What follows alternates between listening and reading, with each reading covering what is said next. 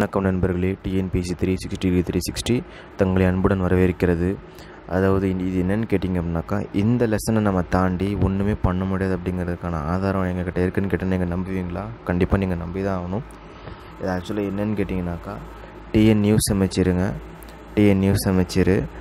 பத்தாவது பாடம் volume two தொகுதி ரெண்டு சமூக அறிவியல்.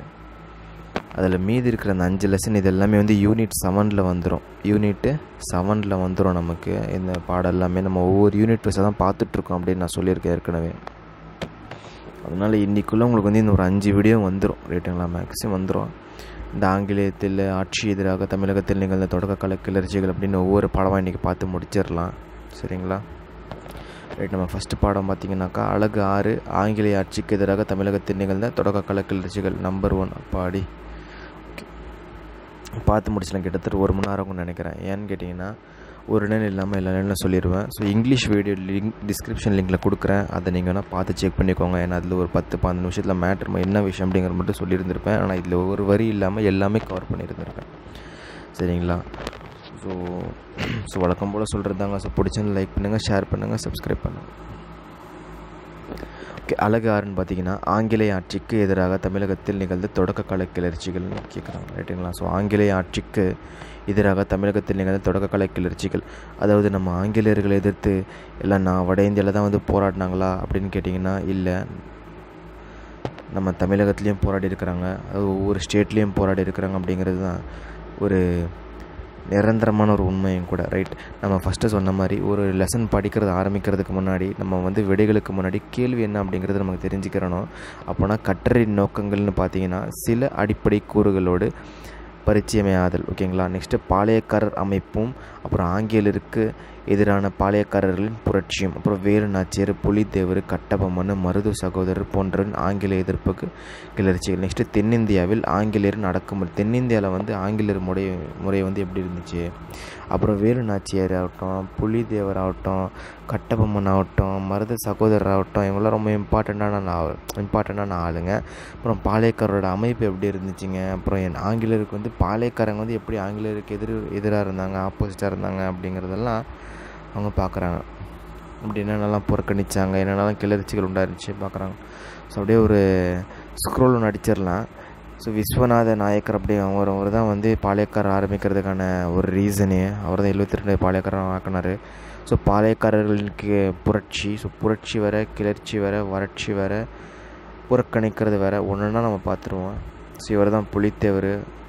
நான் செம்ம கெத்தாக கட்டியிருக்கிறாங்க பாருங்க. இதை வேலு நாச்சியார் எல்லாம் நமக்கு எல்லாத்துக்கும் பிடிச்சவங்க. அவங்க அவங்க செஞ்ச வேலை அப்படிங்க. ஒரு வீர மங்கையாக இருந்து ஒரு மங்கையாக இருந்து எப்படி ஒரு வீர மங்கையாக மாறினாங்க அப்படிங்கிறதுக்கான ஒரு உதாரணமும் அவங்க தான்.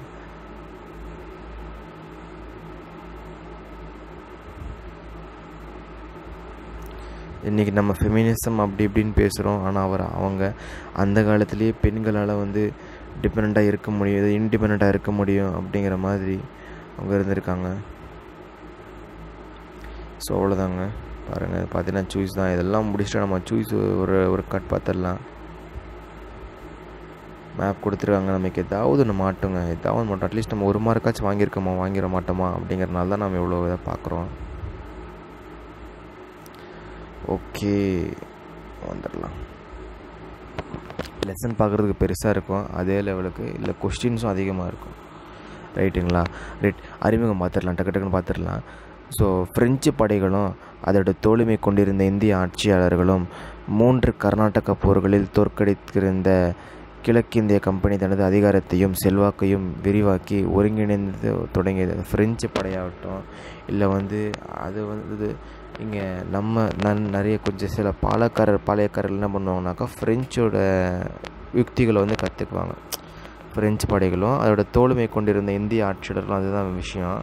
நான் ஃப்ரெஞ்சுக்கும் பிரிட்டிஷுக்கும் ஆகாது. அதனால் ஃப்ரெஞ்சு வந்து இந்தியாவோட இந்தியாவில் இருக்கிற சில பேரோட கை கோத்துட்ருக்கோம் அந்த ஃப்ரெஞ்சு படைகளாகட்டும் இல்லை அவங்க தோழமை கொண்டிருந்த அந்த இந்திய ஆட்சியாளர்களாகட்டும் மூன்று கர்நாடகா போரில் மூன்று கர்நாடகா போர் நடக்கும். ஸோ கர்நாடிக் வார் ஒன்று கர்நாடிக் வார் ரெண்டு கர்நாடிக் வார் மூணு ரைட்டுங்களா ஸோ மூணு கர்நாடிக் வார் நடக்கும்.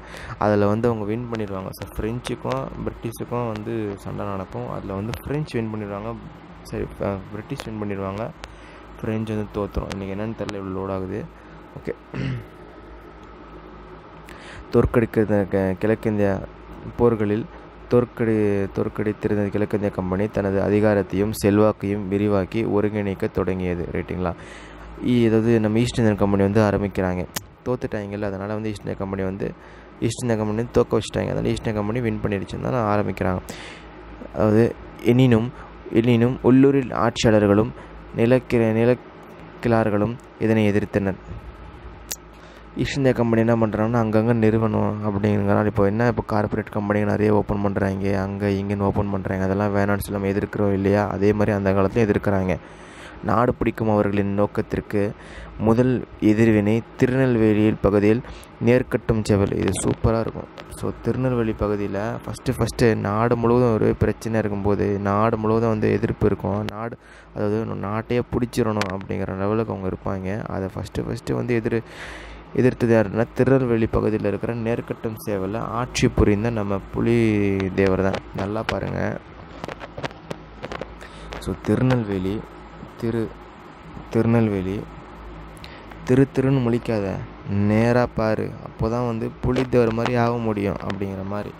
சரிங்களா? ஸோ நேர்கொண்ட பார்வை மாதிரி. நான் நெருக்க திரு திருன்னு முழிக்காத. நான் திருநெல்வேலியில் இருக்கிற திருநெல்வேலியில் ஆமாம் திருநெல்வேலி பகுதியில் இருக்கிற நேர்கட்டுஞ்சேவல். இதுதான் வந்து இதுதான் வந்து திருநெல்வேலி பகுதி. அங்கே இருக்கிற நெருக்கட்டஞ்சேவல் ஆண்டு கட்டிருக்கிற யாருங்க? நம்ம புலி தேவர். அவர் தான் மெயினான ஆள் ஃபஸ்ட்டு ஆள் இவர் தான்.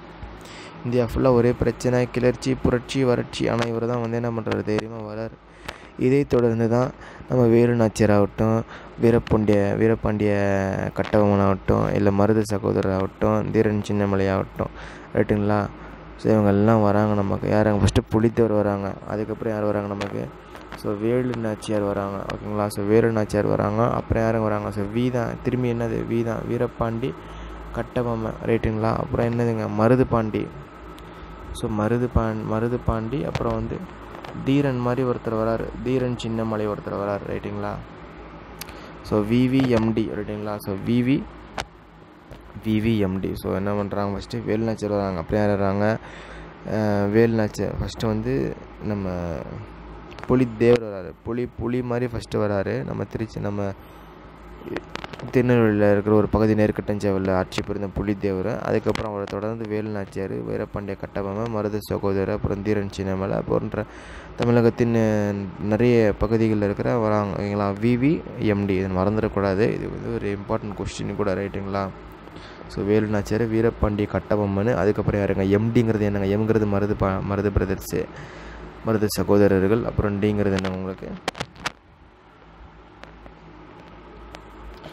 இல்லை சுதீரன் சின்னமலை ஓகே ஸோ போன்ற தமிழகத்தின் பிற பிற பகுதிகளில் ஆட்சி புரிந்த வந்தோரும் எதிர்த்தனர். ஸோ பாளையக்காரர் போர் என அறியப்படும் இது ஆயிரத்தி எட்நூற்றி ஆறில் நிகழ்ந்த வேலூர் புரட்சிக்கு இட்டு சென்றது. அதாவது நம்ம வந்து வேலூர் இது என்னென்னு சொல்கிறாங்கனாக்கா ப்ரீவர் ஆஃப் இண்டிபெண்டன்ஸ்னு சொல்லுவாங்க இல்லையா? இது வந்து ஒரு சுதந்திர ஒரு போர் தான் அப்படிங்கிற மாதிரி சொல்லுவாங்க. எதுங்க நம்ம வந்து வேலூர் கழகம். அதுக்கு வந்து ஒரு வழியை ஆரம்பித்ததே அதாவது பிள்ளையார் சொல்லி போட்டதே நம்ம இதுதான் அப்படிங்கிற மாதிரி சொல்கிறாங்க ஆயிரத்தி எட்நூற்றி ஆயிரத்தி எட்நூற்றி ஆறு. நம்ம யாருங்க? நம்ம புலிதேவர் திருநெல்வேலி பகுதியில் இருக்கிற அந்த நேர்கட்டுஞ்சேவல் புலிதேவர் ஆண்ட அந்த புலிதேவரும். ஸோ விவி எம்டிங்களா ஓகேங்களா தெரியும் உங்களுக்கு தெரியும் அடிக்கடி நான் சொல்லுவேன் இம்பார்ட்டண்ட்டு ஏன்னா யார் யார் நம்ம இருக்காங்கன்னு தெரிஞ்சால் தான் நம்ம அவங்களோட ஹிஸ்ட்ரி தெரிஞ்சிக்க முடியும் ரெக்கார்ட் தெரிஞ்சிக்க முடியும்.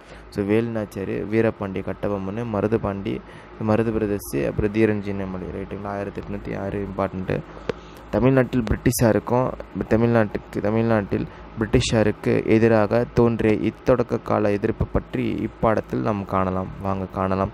ஆங்கிலேயருக்கு எதிரான மண்டல சக்தி மண்டல சக்திகளின் எதிர்ப்பு. ஃபஸ்ட்டு பாளையங்களும் பாளையக்காரர்களும். பாளையம் என்ற சொல் ஒரு பகுதியையோ ஒரு இராணுவ முகாமையோ அல்லது ஒரு சிற்றரசையோ குறிப்பதாகும். பாருங்கள் ஒரு பகுதி பாளையம் அப்படிங்கிறது ஒரு நாடோ இல்லை ஒரு மண்டலமோ இல்லை வந்து ஒரு இதெல்லாம் ஒரு சின்ன ஒரு ஒரு பகுதி ஒரு பகுதியாகட்டும் இல்லை வந்து இராணுவ முகாமை இப்போ இராணுவ முகாமை பார்த்துருப்பீங்களா நீங்கள் அந்த ஒரு பிளேஸில் அந்த இராணுவ முகாம் வந்து இந்த இராணுவக்காரர்கள்லாம் மிலிட்ரிக்காரங்கள்லாம் அந்த இடத்துல டென்ட்டு போட்டு உட்காந்துக்குவாங்க நம்ம மக்கள் பாதுகாப்பிற்காக நம்ம நாட்டு பாதுகாப்பிற்காக. அதுதான் வந்து ஒரு ஸோ சிற்றரசை வந்து சிற்றரசர்கள் அவங்களாம். ஸோ பாளையக்காரர்கள் வந்து இவர்கள் வந்து ஆங்கிலேயர்களில் வந்து போலிகர் அப்படின்னு சொல்லுவாங்க. ஸோ ஆங்கிலேயரில் நமக்கு வந்து போலிகர்னு சொல்லுவாங்க.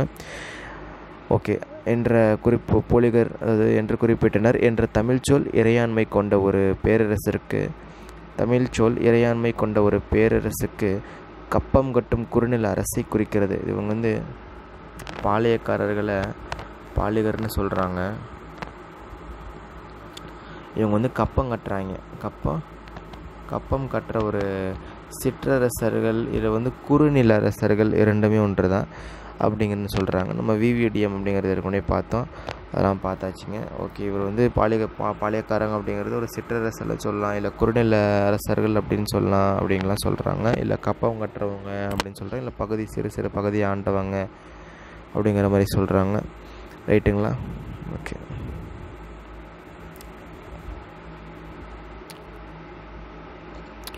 ஓகேங்க.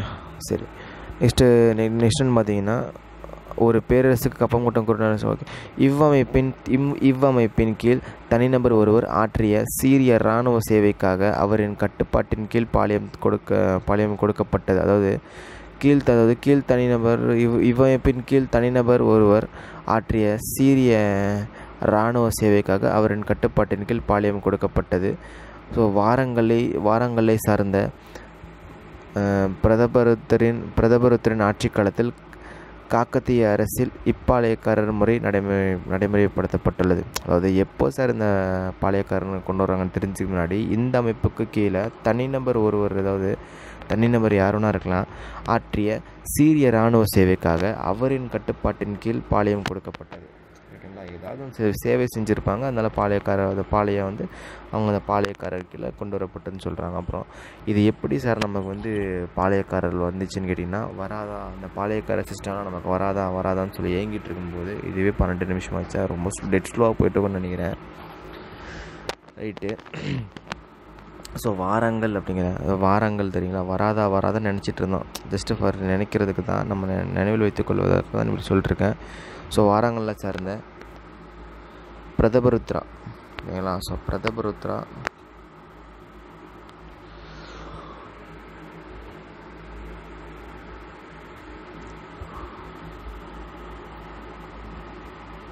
ஸோ வாராங்களில் இருக்கிற பிரதபருத்ரா வந்து ஆட்சி காலத்தில் வந்து காக்கத்திய காக்கத்திய ஓகேங்களா? ஸோ நான் தமிழில் எழுதியிருக்கு நான் இங்கிலீஷில் எழுதியிருக்கேன் அங்கே தமிழில் இருக்கவள் தான். ஸோ வாரங்களில் சேர்ந்த காக்கத்தியா கிண்டத்தை ஆட்சி செஞ்ச நம்ம பிரதபாருத்ரா வந்து ஆட்சி செய்யும்போது தான் இந்த பாளையக்கார சிஸ்டம் அப்படிங்கிறது கொண்டு வந்தாங்க.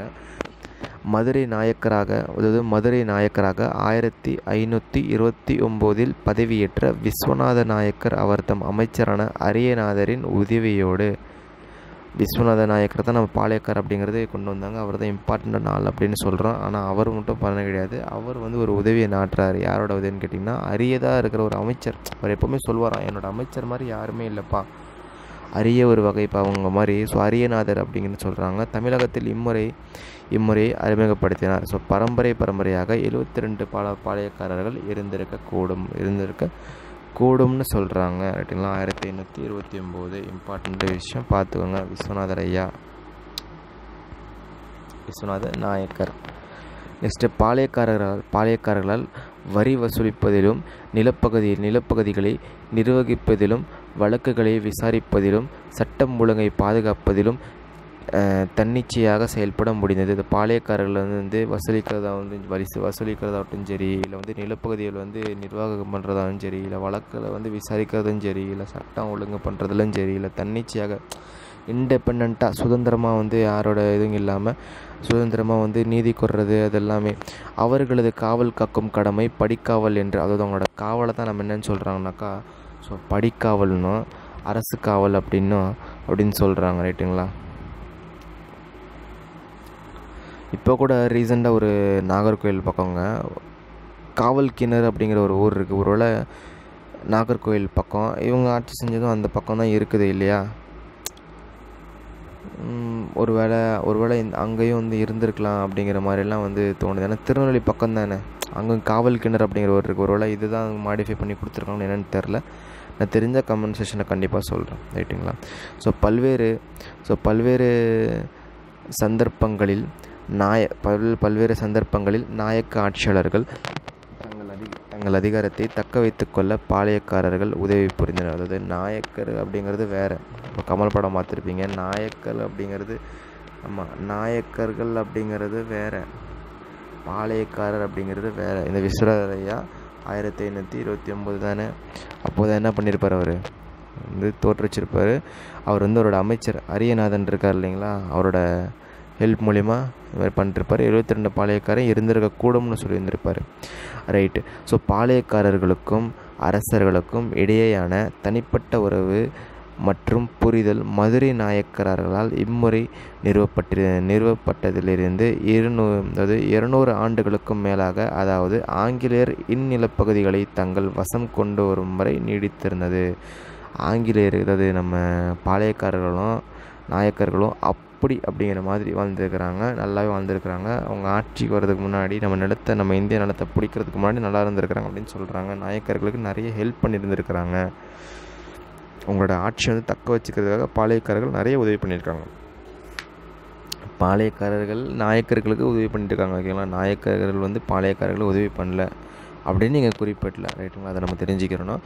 நெக்ஸ்ட்டு வந்து கிழக்கு மற்றும் மேற்கு பாளைய கிழக்கு மற்றும் மேற்கு பாளையங்கள். இப்போ ரெண்டாக பிரிக்கிறாங்க. ஸோ மேற்கு வங்காளம் கிழக்கு வங்காளம் அப்படிங்கிறோம் ஸோ கிழக்கு மற்றும் மேற்கு பாளையங்கள்னு சொல்கிறாங்க இது என்ன விஷயம்னு கேட்டிங்கன்னா இது வந்து கிழக்கு இல்லையா? இது வந்து கிழக்கு இது வந்து நமக்கு வந்து மேற்கு. இது வந்து கிழக்கு இது வந்து கிழக்கு இது வந்து மேற்கு.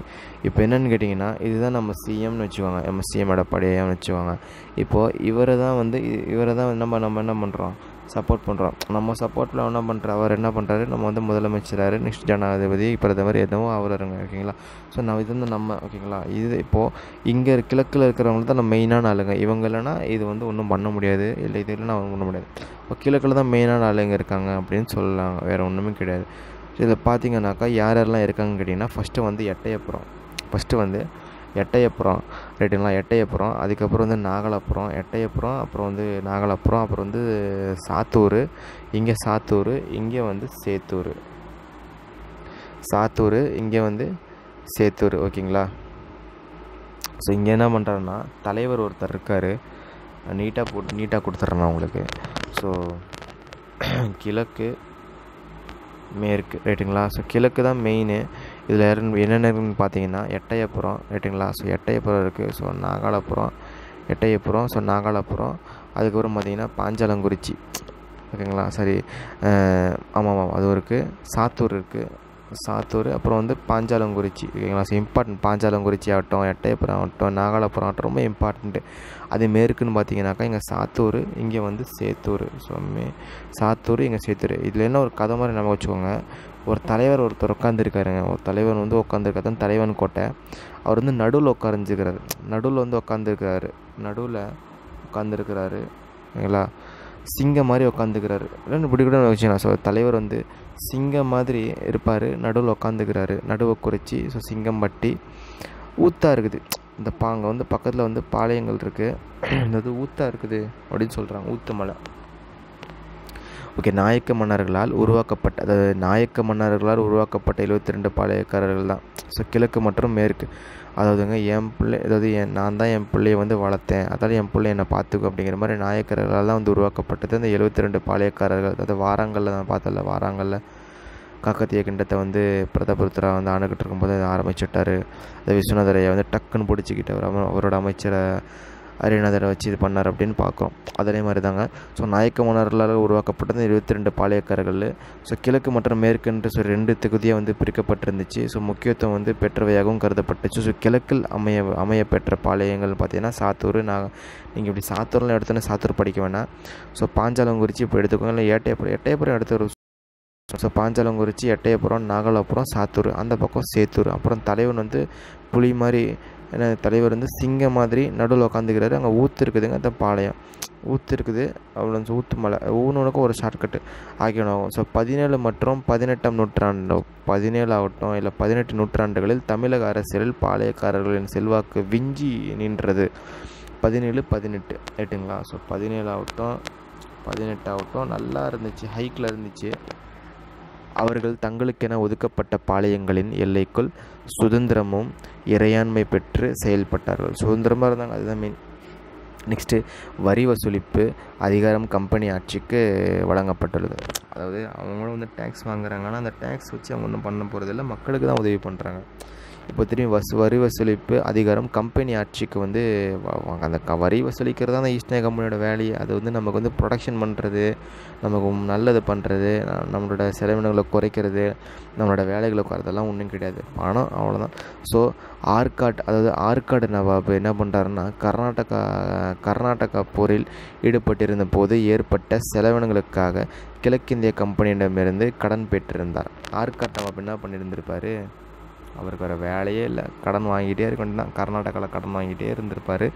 ஸோ சரி கர்நாடகா போர் நடக்கும். நம்ம மூணு கர்நாடகா போர் நடக்கும்னு பார்த்தோம். ஒன்று ரெண்டு மூணு. அதில் மூணு கர்நாடக போரில் வந்து ஃப்ரெஞ்சுக்கும் பிரிட்டிஷுக்கும் பிரச்சனை நடக்கும். அதில் ஃப்ரெஞ்சு தோத்துரும் பிரிட்டிஷ் ஜெயிச்சிரும்.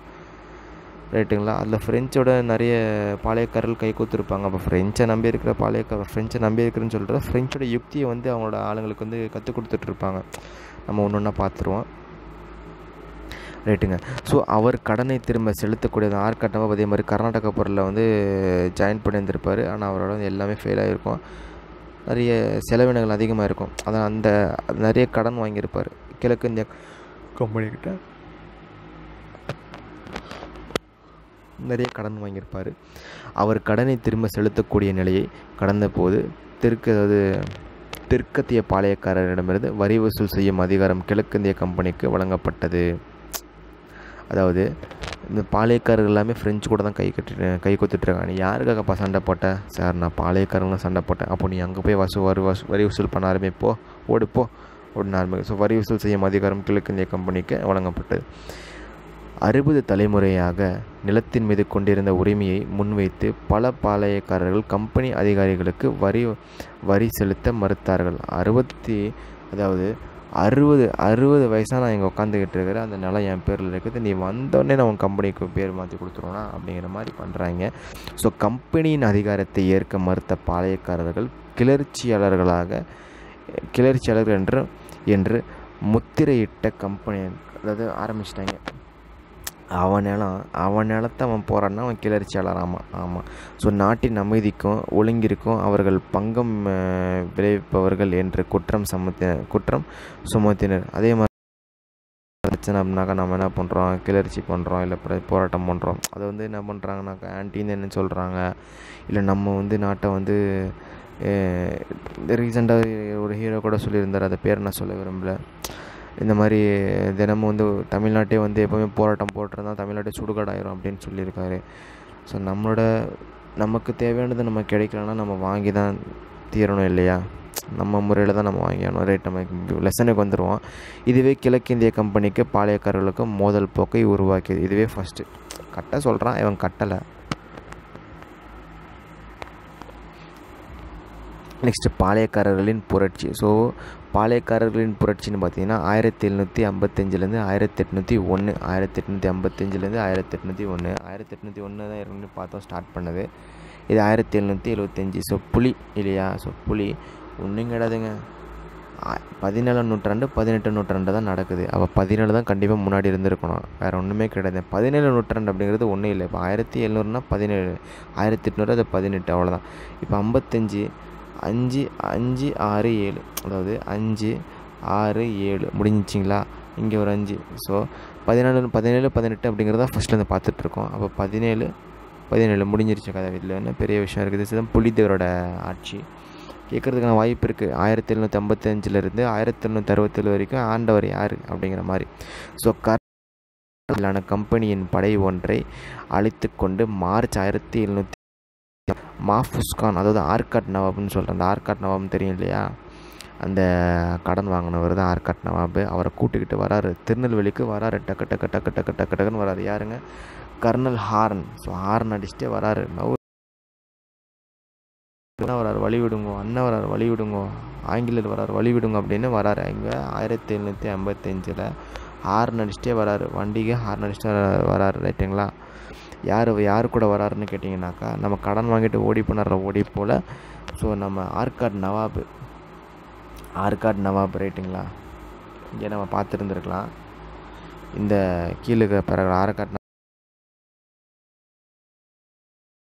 போய் நிறைய பணத்தை இழந்து கருப்பா யாருக்காக பண்ணி வந்து பணம் எடுத்தேன் நான் பாளையக்காரர்களை சப்போர்ட் பண்ணப்பா அப்போ நீ அவங்கள போய் வந்து கப்பம் கட்ட சொல்லி போப்பா. அப்படின்னு வராங்க. ரெண்டு பேரும் வராங்க. என்ன பண்ணுறாங்கன்னு பார்க்கலாம். ஸோ மதுரை எளிதில் அவர்களது கையில் விழுந்தது. டக்குன்னு வந்துருச்சு. மதுரை வந்து டக்குன்னு அவங்க கையில் விழுந்துருச்சு. அதன் பின் தொடர்ந்து கம்பெனிக்கு கிழக்கு அதாவது அதன் பின் தொடர்ந்து கம்பெனிக்கு கீழ்ப்படிய மறுத்து வந்த புலித்தேவரை அடக்க கர்னல் ஹான் பணிக்கப்பட்டார். இப்போது கர்னல் ஹார்னால் தான் வந்து நம்ம எடுத்தோன்னு என்ன பண்ணாங்க? மதுரை வந்து டக்குன்னு அவங்க கையில் வசம் வந்துருச்சு. மதுரை வந்து டக்குன்னு வந்து கர்னல் ஹார்ன் அடிச்சுட்டே வராரு ஆர்கட்டமாக போட. மதுரை வந்து டக்குன்னு அவங்க கையில் வந்துருச்சு இல்லையா? அதை பார்த்து நம்ம கௌரவம். அந்த அந்த காலத்து அரசு என்ன பண்ணுச்சுன்னா நம்ம புலித்தேவர் தாயா இது திருநெல்வேலியில் வந்து திரு திரு திருன்னு சொல்லி நேர்கட்ட சேவலில் உட்காந்துக்கிட்டு ஆட்சி பண்ணிட்டுருக்காரு அவரை ஃபஸ்ட் நம்ம என்ன பண்ணோம்? முடிச்சு கட்டணும் அப்படிங்கிறதுனால நம்ம ஹாரன் வந்து பணிக்கப்பட்டார். அங்கே வந்து பணிக வேலைக்கு போடுவாங்க. புள்ளித்தோரை முடிச்சுட்டுன்னு. ஸோ மேற்கு பகுதியில் இருந்த மேற்கு பகுதியில் இருந்த பாளைய மேற்கு பகுதி யாருங்க இருக்கிறாங்க? ஸோ சேத்தூர். ஸோ தலைவன் வந்து நடுவில் உட்காந்துக்கிறாரு அப்புறம் எப்படி இருக்காரு? மாதிரி சிங்கம்பட்டி அப்புறம் ஊத்தூர் இதெல்லாம் பார்த்தோம் அவங்கெல்லாம் மேற்கு பகுதியில் இருந்த பணியாளர்களிடம் புலித்தேவர் மிகுந்த செல்வாக்கு பெற்றிருந்தார். செம்ம செல்வாக்கு. ஸோ பீரகங்களின் ஸோ பீரங் ஸோ பீரங்கிகளின் தேவையும் துணை துணைக்களப் பொருட்கள் மற்றும் படை வீரர்களின் ஊதியம் உள்ளிட்ட காரணங்களினால் ஹாரன் தனது திட்டத்தை கைவிட்டு மதுரைக்கு திரும்பினார். அதாவதுங்க அவங்ககிட்ட அப்போ பீரங்கி சேவை வந்து துணைக்களப் பொருட்கள் மற்றும் படை வீரர்களின் ஊதியம் உள்ளிட்ட காரணங்கள் அதாவது சும்மா நம்ம கூட ஒரு நாலஞ்சு பேர் வராங்க நம்ம பிரச்சனை நம்ம இது இதுக்குன்னு அவங்களுக்கு நம்ம டீ வாங்கி குடிக்கணும் பன் வாங்கி கொடுக்கணும் சாப்பாடு போடணும் அது இது நிறைய வேலை இருக்குது நிறைய இதர செலவுகள்லாம் இருக்குது அதெல்லாம் நம்ம செலவு பண்ணணும் அப்படிங்கிறனால இப்போ போவோம் நாளைக்கு வருவோம் அப்படிங்கிற மாதிரி வடிவேல் மாதிரி என்ன பண்ணுறாருன்னா ஹார்ன் பேக் அடிச்சிடுறாரு. திரும்பி வந்து மதுரைக்கே போயிடுறாரு. ஏன் சார் மதுரைக்கு போகிறாருன்னா மதுரை தான் கைப்பற்றிட்டார்ல அதனால தானே நம்ம இங்கே அனுப்பிச்சிருக்கிறாங்க. ஸோ கம்பெனி நிர்வாகம் அவரை திரும்ப அழைத்ததோடு நிரந்தர பணி நீக்கம் செய்து உத்தரவிட்டது. கம்பெனி நிர்வாகம் வந்து அவர் வந்து திரும்ப அழைத்ததோடு நிரந்தர பணி நீக்கம். என்னப்பா என்னால் ஒன்றும் பண்ண முடியலப்பா பண்ணி வேஸ்ட்டப்பா அப்படிங்கிற மாதிரி வந்து அசிங்கம். முன் முன் வைத்த காலை நீ பின் வைத்திருக்கக்கூடாது கண்ணா அப்படிங்கிறனால பணி நீக்கம் செஞ்சிருவாங்க. ஸோ பிரிட்டிஷு எதிர்ப்பாளர்களின் கூட்டமைப்பும் நட்பு கூட்டணியும். ஸோ பிரிட்டிஷு பிரிட்டிஷை வந்து எதிர்ப்பா அதாவது பிரிட்டிஷு எதிர்ப்பாளர்களின் எதிர்ப்பாளர்களின் கூட்டமைப்பும் நட்பு. அதாவது பிரிட்டிஷ் இங்கே இருக்குதுங்க ஓகேங்களா? இந்த பிரிட்டிஷ் வந்து இங்கே இருக்குது. மொத்தம் எழுபத்தி ரெண்டு பாளையக்காரங்க எழுபத்தி ரெண்டு பேர் என்ன பண்ணோம்? எல்லாமே சேர்ந்து இருந்திருந்தா இந்த பிரிட்டிஷை ஒரே அடி ஹிட் அடித்து தள்ளி விட்டுருந்துருக்கலாம். ஆனால் எழுபத்தி ரெண்டு பாளையக்காரர்கள் முன்னாடியே நிறைய பிரச்சனை அப்படிங்கிறது போக போக உங்களுக்கே தெரியும் ஆச்சரியப்பட்டு போவீங்க. ஸோ நவாப் ஸோ நவாபு சந்தா சாஹிப் முகவர்களாக செயல்பட்டு வந்த அதாவது நவாபு நவா ஆர்காட் நவாபு நவாபு தான் நிறைய நவாப் இருக்காங்க. சரிங்களா? அந்த ஆட்கா ஆர்காட் நவாப் வந்து கடனை வாங்கி திருப்பி கொடுக்காதனால நம்ம பிரிட்டிஷ் கைப்பிடியில் இருக்கார். அதனால் பிரிட்டிஷ்காரங்க கூட்டிகிட்டு கூட்டிகிட்டு சுற்றுறாங்க இப்போ ரீசெண்டாக நம்ம அந்த மதுரையில் மதுரையை கூட ஆட்சி செஞ்சாங்க. மதுரையை கூட கைப்பற்றினாங்க. கூட்டிக்கிட்டு போகிறாரு ஆனால் பாளையக்காரர் போகிறாங்க ஆனால் பாளையக்காரர்கிட்ட பவரை பார்த்தோம். அவர்கிட்ட இருக்கிற ஆள்கள் ஆள்பலத்தை பார்த்தோம். ஸோ அதில் நிறைய செலவினங்களை பார்த்தோம். பேக் அடிச்சிடறாரு. வேலையை விட்டு அவர் நீக்கப்படுறாரு அடுத்து நெக்ஸ்ட் பார்த்துடலாம். நவாப் சந்தா சாஹிப். நவாப் மெயினான ஆள் நவாப் சந்தா சாஹிப் முகவர்களாக செயல்பட்ட என்னன்னா மியானா முடிமையா நவிகான் அதாவது மியாமா மியாமா முடிமையா அதாவது கட்டாக் அதாவது முடியை என்ன பண்ணுறாங்கனாக்கா ஆமாம் மியாமா அப்படிங்கிற ஒருத்தன் வராங்க. ஸோ அவங்கள முடி வந்து கட்டக் அப்படின்னு கட் பண்ணுறாங்க அப்படியே முடியை வந்து கட்டக்குன்னு கட் பண்ணுறாங்க ஸோ மியாமாங்க ஓகேங்களா? ஸோ பெரிய விஷயம் இல்லைங்க இது. மியாமா ஸோ மியாமாங்கிற ஒருத்தர் வராங்க. ஸோ வந்து முடி திருத்துறாங்க. முடி திருத்துறாங்க. அதுதான் வந்து முடிமையா முடியுமை முடியவாப்பா திருத்தணுங்கிற மாதிரி முடியுமையா அதை கட்டக் அப்படிங்கிறாங்க. ஸோ முடியமா அஹ், முடியமான்னு எழுதிடாதீங்க ஸோ மியானா முடியம்மா கட்டாக் அப்படின்னு சொல்கிறாங்க ரைட்டுங்களா ஓகே சுமையானா முடியுமா? நபிகான் ஒருத்தர் இருக்கார் மறந்துடக்கூடாதப்பா ஸோ நபிகான் கட்டாக் அப்படி ரெண்டு ஒன்று தான் இன்னும் மூன்று பத்தானி அரசு அதிகாரிகள் மதுரை மற்றும் திருநெல்வேலி பகுதிகளில் பொறுப்பு வகித்தனர். ஓகேங்களா? ஸோ பொறுப்பு வகித்தனர் அப்படின்னு சொல்கிறாங்க அதாவது நவாப் சந்தா இவங்க பிரிட்டிஷ்காரங்க. என்ன பண்ணுறாங்கனாக்கா ஒரு அதாவது அவங்க அவங்க போடுற ஆளுங்க எல்லாமே அவங்க கூட வச்சுக்கிற ஆளுங்க எல்லாமே இந்த வந்து முஸ்லீமாக இருக்கிறாங்க. ஏன்னா ஒரு பிரச்சனை நடக்கட்டும் அப்படி. இதே மாதிரி தான் வங்காளத்தில் வந்து இந்துக்களாகட்டும் இல்லைல்லாம் எந்த ஒரு மத அடிப்படை இல்லாமல் எல்லாம் சேர்ந்துருப்பாங்க. அவங்கள வந்து தனித்தனியாக வெஸ்ட் பெங்கால் ஈஸ்ட் பெங்கால் தனித்தனியாக பிரிப்பாங்க. ஸோ பிரிவினை ஏற்படுத்துவதற்காக தான் பார்ட்டிஷன் ஆஃப் பெங்கால் ஆயிரத்தி தொள்ளாயிரத்தி அஞ்சில் ஏற்படும். அதே மாதிரி தான் இவங்க வந்து இவங்களாம் டேரெக்டாக எந்த வேலையும் பண்ணுறதில்ல ஒரு ஆளை விட்டு தான் பண்ணுறது அதுவும் அவங்களுக்கு வந்து எதிரிகளாக்கணும் அப்படிங்கிறத தான் பண்ணுறது நல்ல ஒரு யுக்தியை வந்து ஃபாலோ பண்ணுறாங்க போக போக பார்க்கலாம் வாங்க. ஸோ மியா மியானா ஆகட்டும் இல்லை முடிமையா முடிமையா ஆகட்டும் நபிகான் கட்டாக் ஆகட்டும் இந்த மூணு பத்தானி அதிகாரிகள் மதுரை மற்றும் திருநெல்வேலி பகுதிகளில் பொறுப்பு வகித்தனர். ஓகேங்களா? திருநெல்வேலி மற்றும் திருநெல்வேலி பகுதிகளில் வந்து பொறுப்பு வகித்தனர். அவர்கள் ஆற்காட்டு அதாவது ஒருத்தர் அதாவது ஒரு மீட்டிங்கில் ஒருத்தர் சுடணுன்னா நீங்கள் படத்தில் பார்த்துருப்பீங்க. ஒரு அப்போ தான் சிஎம் இல்லை ஏதாவது ஒரு அதிகாரி வருவார் ஒரு சுடணுன்னு கேட்டிங்கன்னா அந்த வில்ல என்ன பண்ணுவோம்னாக்கா வேறு எங்கே உட்காந்துக்கிட்டு ஆப்ரேட் பண்ண மாட்டான். அந்த பில்டிங்குக்கு ஆப்போசிட் பில்டிங்கில் உட்காந்துக்கிட்டு கன் வச்சு இது பண்ணிட்டுருப்பான் காப்பான் படம் ஆகட்டும். எல்லாம் மேக்ஸிமம் எல்லா படத்துலையும் ஆகட்டும். அதே மாதிரி தாங்க இப்போ வந்து பிரச்சனை யார்? புலித்தேவர் தான். அவர் எங்கே இருக்கார்? திருநெல்வேலியில் இருக்கிற நேர்கட்டஞ்சேவல் சரி நம்ம திருநெல்வேலியில் போய் பட்டறையை போடுவோன்னு சொல்லி வராங்க. யாருங்க நம்ம நவாப் சந்தா சாஹிப்பும் மூன்று பத்தானிய அரசு அதிகாரிகள். யாருன்னு கேட்டால் மியானா முடியுமா? மியானா முடிமையா அப்புறம் நபிகான் கட்டாக் அவர்கள் எல்லாமே ரைட்டுங்களா ஸோ அவர்கள் ஆற்காடு நவாபான முகமது அலிக்கு எதிராக மேற்கு பாளையக்காரர்களுக்கு ஆதரவளித்தனர் இவங்கெல்லாம் என்ன பண்ணுறாங்கன்னா ஆர்காட் நவாபான முகமது அலிக்கு ஆர்காட் நவாப் யாருங்க? அதான் நம்ம ஆர்காட் நவாப் கடனை வாங்கிட்டு மாட்டிக்கிட்டான் பிரிட்டிஷ்காரங்கிட்ட. கேட்டால் நமக்கு கடன் வாங்குறேன்னு சொல்கிறான் நமக்கு எதிராக வந்து என்ன பண்ணுறான் அவன் கூட வரான். மதுரையை வேற கைப்பற்றிட்டான். இப்போ புளித்தவருக்கு எதிராக வர கொடி தூக்கிட்டு திரியிறான். அவரை எதிர்த்து தான் நம்ம ஆற்காட்டு நவாப் அவர்கள் நார்க் ஆற்காட்டு நவாபான முகமது அலிக்கு அந்த ஆர்காட் நவாப் நவாப்னு சொல்கிற அந்த கர்நாடக முகமது அலி அவர் தான் முகமது அலி. அந்த முகமது அலிக்கு எதிராகத்தான் மேற்கு பாளையர்கள் மேற்கு பாளையக்காரர்களுக்கு ஆதரவளித்தனர். ஸோ அவர்களோடு புலித்தேவர் நெருக்கமான நட்புறவை ஏற்படுத்தி கொண்டார். அப்போ சந்தா சாஹிப் அவங்களோட சந்தா செலுத்திட்டே வர்றார் புலித்தேவர். அதனால தான் என்ன பண்ணுறாரு ரொம்ப ஹெல்ப்ஃபுல்லாக இருக்கிறார். அந்த சந்தா சாஹிப்போட மூன்று பத்தானிய அதிகாரிகள் இருக்காங்க. யாருங்க அது? மியானா? மியானா அப்புறம் வந்து முடி வந்து கட்டாக் அப்படின்னு திருத்துறாங்க. அவ்வளோதான் நபிகான் கட்டாக். நெருக்க அதனால் நெருக்கமான ஒரு நட்புறை வந்து ஏற்படுத்தி கொண்டார். ஸோ மேலும் புலித்தேவர் ஆங்கிலேயர்களுக்கு எதிராக போரிட பாளையக்காரர்களின் கூட்டமைப்பு ஒன்றையும் ஒன்றையும் ஏற்படுத்தினார். ஒரு கூட்டமைப்பு நம்ம என்றைக்கே இருக்கணும் ஒரு சங்கம் வந்தால் டக்கு டக்கு டக்குன்னு அடித்து தூக்கி போட்டு போயிட்டே இருக்கணும் அப்படிங்கிற மாதிரி. ஸோ சிவகிரி பாளையக்காரர் நீ நீ நம்ம சிவகிரி எழுபத்தி ரெண்டு பாளையக்காரர் இருக்கிறாங்க. அந்த ஒருத்தன் சிவகிரி பாளையக்காரர் நீங்களாக பிறமறவர் நீங்கள் அதாவது நீங் நீங்களாக பிறமறவர் பாளையங்கள் யாவும் அவரை ஆதரித்தனர் அதாவது சிவகிரி பாளையக்காராகட்டும் இல்லை நீங்களாக அதாவது நீங்களாக பிற மறவர் எல்லாமே உங்களை ஃபாலோ பண்ணாங்க. எட்டயபுரம் ஆகட்டும் பாஞ்சாலங்குறிலாம் ஈஸ்ட் ஈஸ்ட்டில் இருக்குது கிழக்கில் இருக்குது எட்டயபுரம் ஆகட்டும் பாஞ்சாலங்குறிச்சி ஆகட்டும் கூட கூட்டமை கூட்டமைப்பில் இணையவில்லை. அதாவது நம்ம ஏற்கனவே சொல்லியிருக்கோம் கிழக்கில் இருக்கிற அந்த இடம் தான் வந்து நமக்கு ரொம்ப இம்பார்ட்டண்டான இடம். அதுதான் ரொம்ப மெயினான இடம். அவங்க தான் வந்து சூப்பர் சப்போர்ட்டு சூப்பர் பவர்னு சொல்கிறோம் அந்த இடத்துல சேர்ந்து தான் இந்த எட்டயபுரம் பாஞ்சாலிபுரம் அப்புறம் அந்த சாத்தூர் அப்புறம் இந்த நாகாலாபுரம் எல்லாமே. அதில் எட்டயபுரம் பாஞ்சாலங்குறி பாஞ்சாலங்குறிச்சி வந்து சேரல் அப்படிங்கிறது வருத்தத்துக்குரிய ஒரு விஷயம். ஆனால் மற்றபடி மற்றவங்கலாம் வராங்க. நம்ம சிவகிரியெல்லாம் வந்து சிவசிவான்னு வந்துடுறாரு. ஆமாம் ஆமாம் நெக்ஸ்ட் பார்த்தீங்கன்னா மேலும் ஆங்கிலேயர்கள் ராமநாதபுரம் மற்றும் புதுக்கோட்டை மன்னர்களின் ஆதரவை பெற்றனர். எட்டயபுரம் பாஞ்ச பாஞ்சாலங்குறிச்சி சேரவே இல்லை. எனக்கு என்னத்துக்குப்பா அப்படிங்கிற மாதிரி நவுந்துக்கிட்டாங்க ஆனால் ராமநாதபுரம் கைப்பற்று கைப்பற்றிருந்த அந்த புதுக்கோட்டை ஆகட்டும் ராமநாதபுரம் ஆகட்டும் புதுக்கோட்டை ஆகட்டும் அவங்க வந்து ஆதரவை வந்து பெற்றனர். ஆங்கிலேயர்களுக்கு வந்து ஆதரவு பண்ணுறாங்க என்ன ஆளுங்க பாருங்கள் இந்த இந்த ஒரு யூனிட்டி இல்லாதனால தான் நம்ம வந்து அடிமையாக இருந்தோம். இன்னும் அடிமையாக இருக்கோம் இருக்கக்கூடாது அப்படின்னா ஒற்றுமையுடன் இருக்க வேண்டும். ஒற்றுமையாக பலம். ஸோ புலித்தேவர் புலித்தேவருங்கிறது ஒரு வந்து மைசூரின் ஹைதர் அலி மற்றும் பிரெஞ்சுக்காரர்களது ஆதரவினை பெற முயன்றார். அதாவது ஃப்ரெஞ்சுக்காரங்க தான். அதாவது இப்போது நீங்கள் ஒரு ரெண்டு பேர் இருக்காங்க. இப்போ வந்து நானே வச்சுக்கலாங்களே. இப்போ வந்து எனக்கு எதிரி இருக்கான்னு வச்சுக்கோங்களேன். இப்போ எதிரி இருக்கான்னு கேட்டிங்கனாக்கா உங்களுக்கு வந்து ஒரு ஒரு எதிரி இருக்கான் அப்படின்னு எனக்கு தெரியுது. இப்போ நீங்கள் தான் பிரிட்டிஷ்காரங்க. ஒரு எதிரி உங்களோட எதிரி வந்து ஃப்ரெஞ்சு அப்புறம் என்ன பண்ணுறேன் அவங்களோட கை கோத்துக்கிறேன். அதே மாதிரி தான் பிடித்தவருக்கு வேலையும் இதுதான். கை கோத்து கை கோத்து இருப்பார். எப்பவுமே சங்கத்தை வந்து எப்போவுமே ஸ்ட்ராங்காக வச்சுக்கணும். நம்ம வந்தால் தக்க தக்குன்னு அடித்து தகுத்திடணும் அப்படிங்கிற மாதிரி.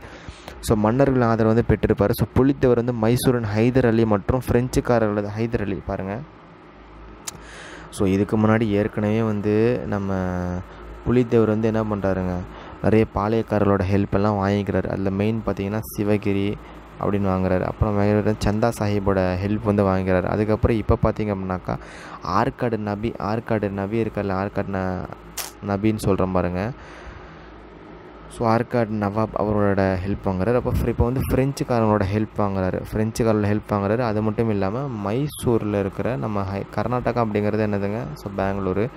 அதில் தான் வந்து தோற்று போவாங்க. அதில் தான் வந்து அப்போ தான் ஃப்ரெஞ்சு வந்து இவங்களுக்கு ஃப்ரெண்ட்ஸ் ஆவாங்க.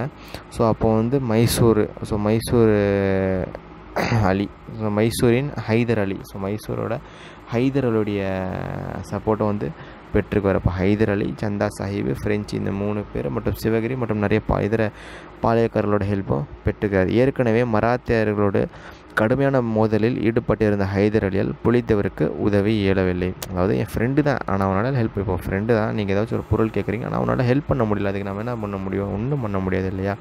ஸோ அவ்வளோதான் இப்போ என்ன பண்ணியிருக்கிறோன்னா இவ்வளோ தான் பார்த்துருக்குறோம். இதுக்கு மேலே லெசன் போயிடும் பட் ஆனால் ரெண்டாவது பட்டம் நான் தனியாக கொடுக்குறேன் ரைட்டுங்களா இல்லை போட்டுடலாங்களா? இல்லை போட்டுடலாம். இதில் எவ்வளோ முடியுதோ நம்ம கவர் பண்ணிடலாம். கவர் பண்ணிட்டு நம்ம அடுத்த ஒரு பாட்டில் போட்டோம் ரெண்டு பாட்டாக இருந்துட்டு போதும். ஓகே நெக்ஸ்ட்டு பார்த்தீங்கன்னா களக்காடு போர். ஸோ களக்காடு போர்னால் நவாப் கூடுதல் படைகளாக அதாவது நவாப் இருக்கார் இல்லைங்களா? அவர் வந்து கூடுதல் படைகளை மாப்பூஸ் கானுக்கு அனுப்பி திருநெல்வேலிக்கு செல்லும் படையை பலப்படுத்தினார். அதாவது நாப்ப அதாவது நாப்பஸ் நாப்பஸ்? ஆமாம் ஆமாம். நவாபு கூடுதல் படை. எந்த நவாபுங்க? அந்த சையது இல்லையா? இல்லை இல்லை ஒரே நிமிஷம் ஒரே நிமிஷம் ஒரே நிமிஷம். இங்கே பாருங்கள்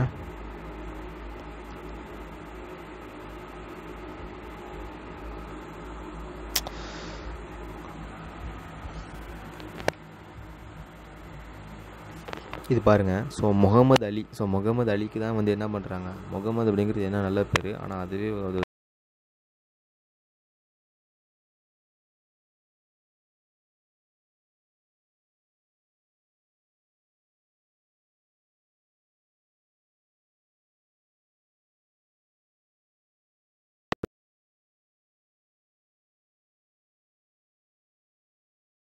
நவாப் இவர் தான் ஆர்காட் நவாப் எப்போவுமே இப்போ அலாவுதீன் கில்ஜி ஆகட்டும் இல்லை வேறு ஏதாவது சுல்தான்கள் ஆகட்டும் இல்லை நம்ம வந்து யாருன்னா ஆகட்டும் டேரெக்டாக அவங்களே வரணும்லாம் ஒன்றும் கிடையாது. அவங்க ஆளுங்களை அனுப்புவாங்க. அதே மாதிரி நவாப் என்ன பண்ணுறாருன்னா நீ ஃபஸ்ட்டு போ. அப்படி தான் வருவார். நீ ஃபஸ்ட்டு போ. நீங்கள் வந்து படைகள் ஆகட்டும். ஃபஸ்ட் எடுத்தோன்னே நம்ம பீரங்கி போடுவாங்க. அதுக்கப்புறம் சின்ன சின்ன சிற்றர் அதாவது சிப்பாய்கள் அனுப்புவாங்க. அதுக்கப்புறம் தான் அமைச்சர்கள் போவாங்க. அதே மாதிரி தாங்க ஃபஸ்ட்டு எடுத்தோடனே என்ன பண்ணுறாரு மாப்பூஸ் கான் அனுப்புகிறாரு நவாப் என்ன பண்ணுறாரு மாப்பூஸ் கான். மாப்பு போயிட்டு வா மாப்பு அப்படிங்கிற மாதிரி அனுப்புகிற மாப்பிள்ள போயிட்டு வா மாப்பிள்ளங்கிற மாதிரி அனுப்புகிறார் எங்கே அனுப்புகிறாருன்னா திருநெல்வேலிக்கு அனுப்புகிறாரு ஆமாம் திருநெல்வேலிக்கு ஏற்கனவே போயிட்டுருக்காங்கல்ல மக்கள் அங்கே போய் போய் திருநெல்வேலி தான் உட்காந்துருக்காங்க யாரெல்லாம் உட்காந்துருக்காங்கன்னு கேட்டிங்கன்னா அந்த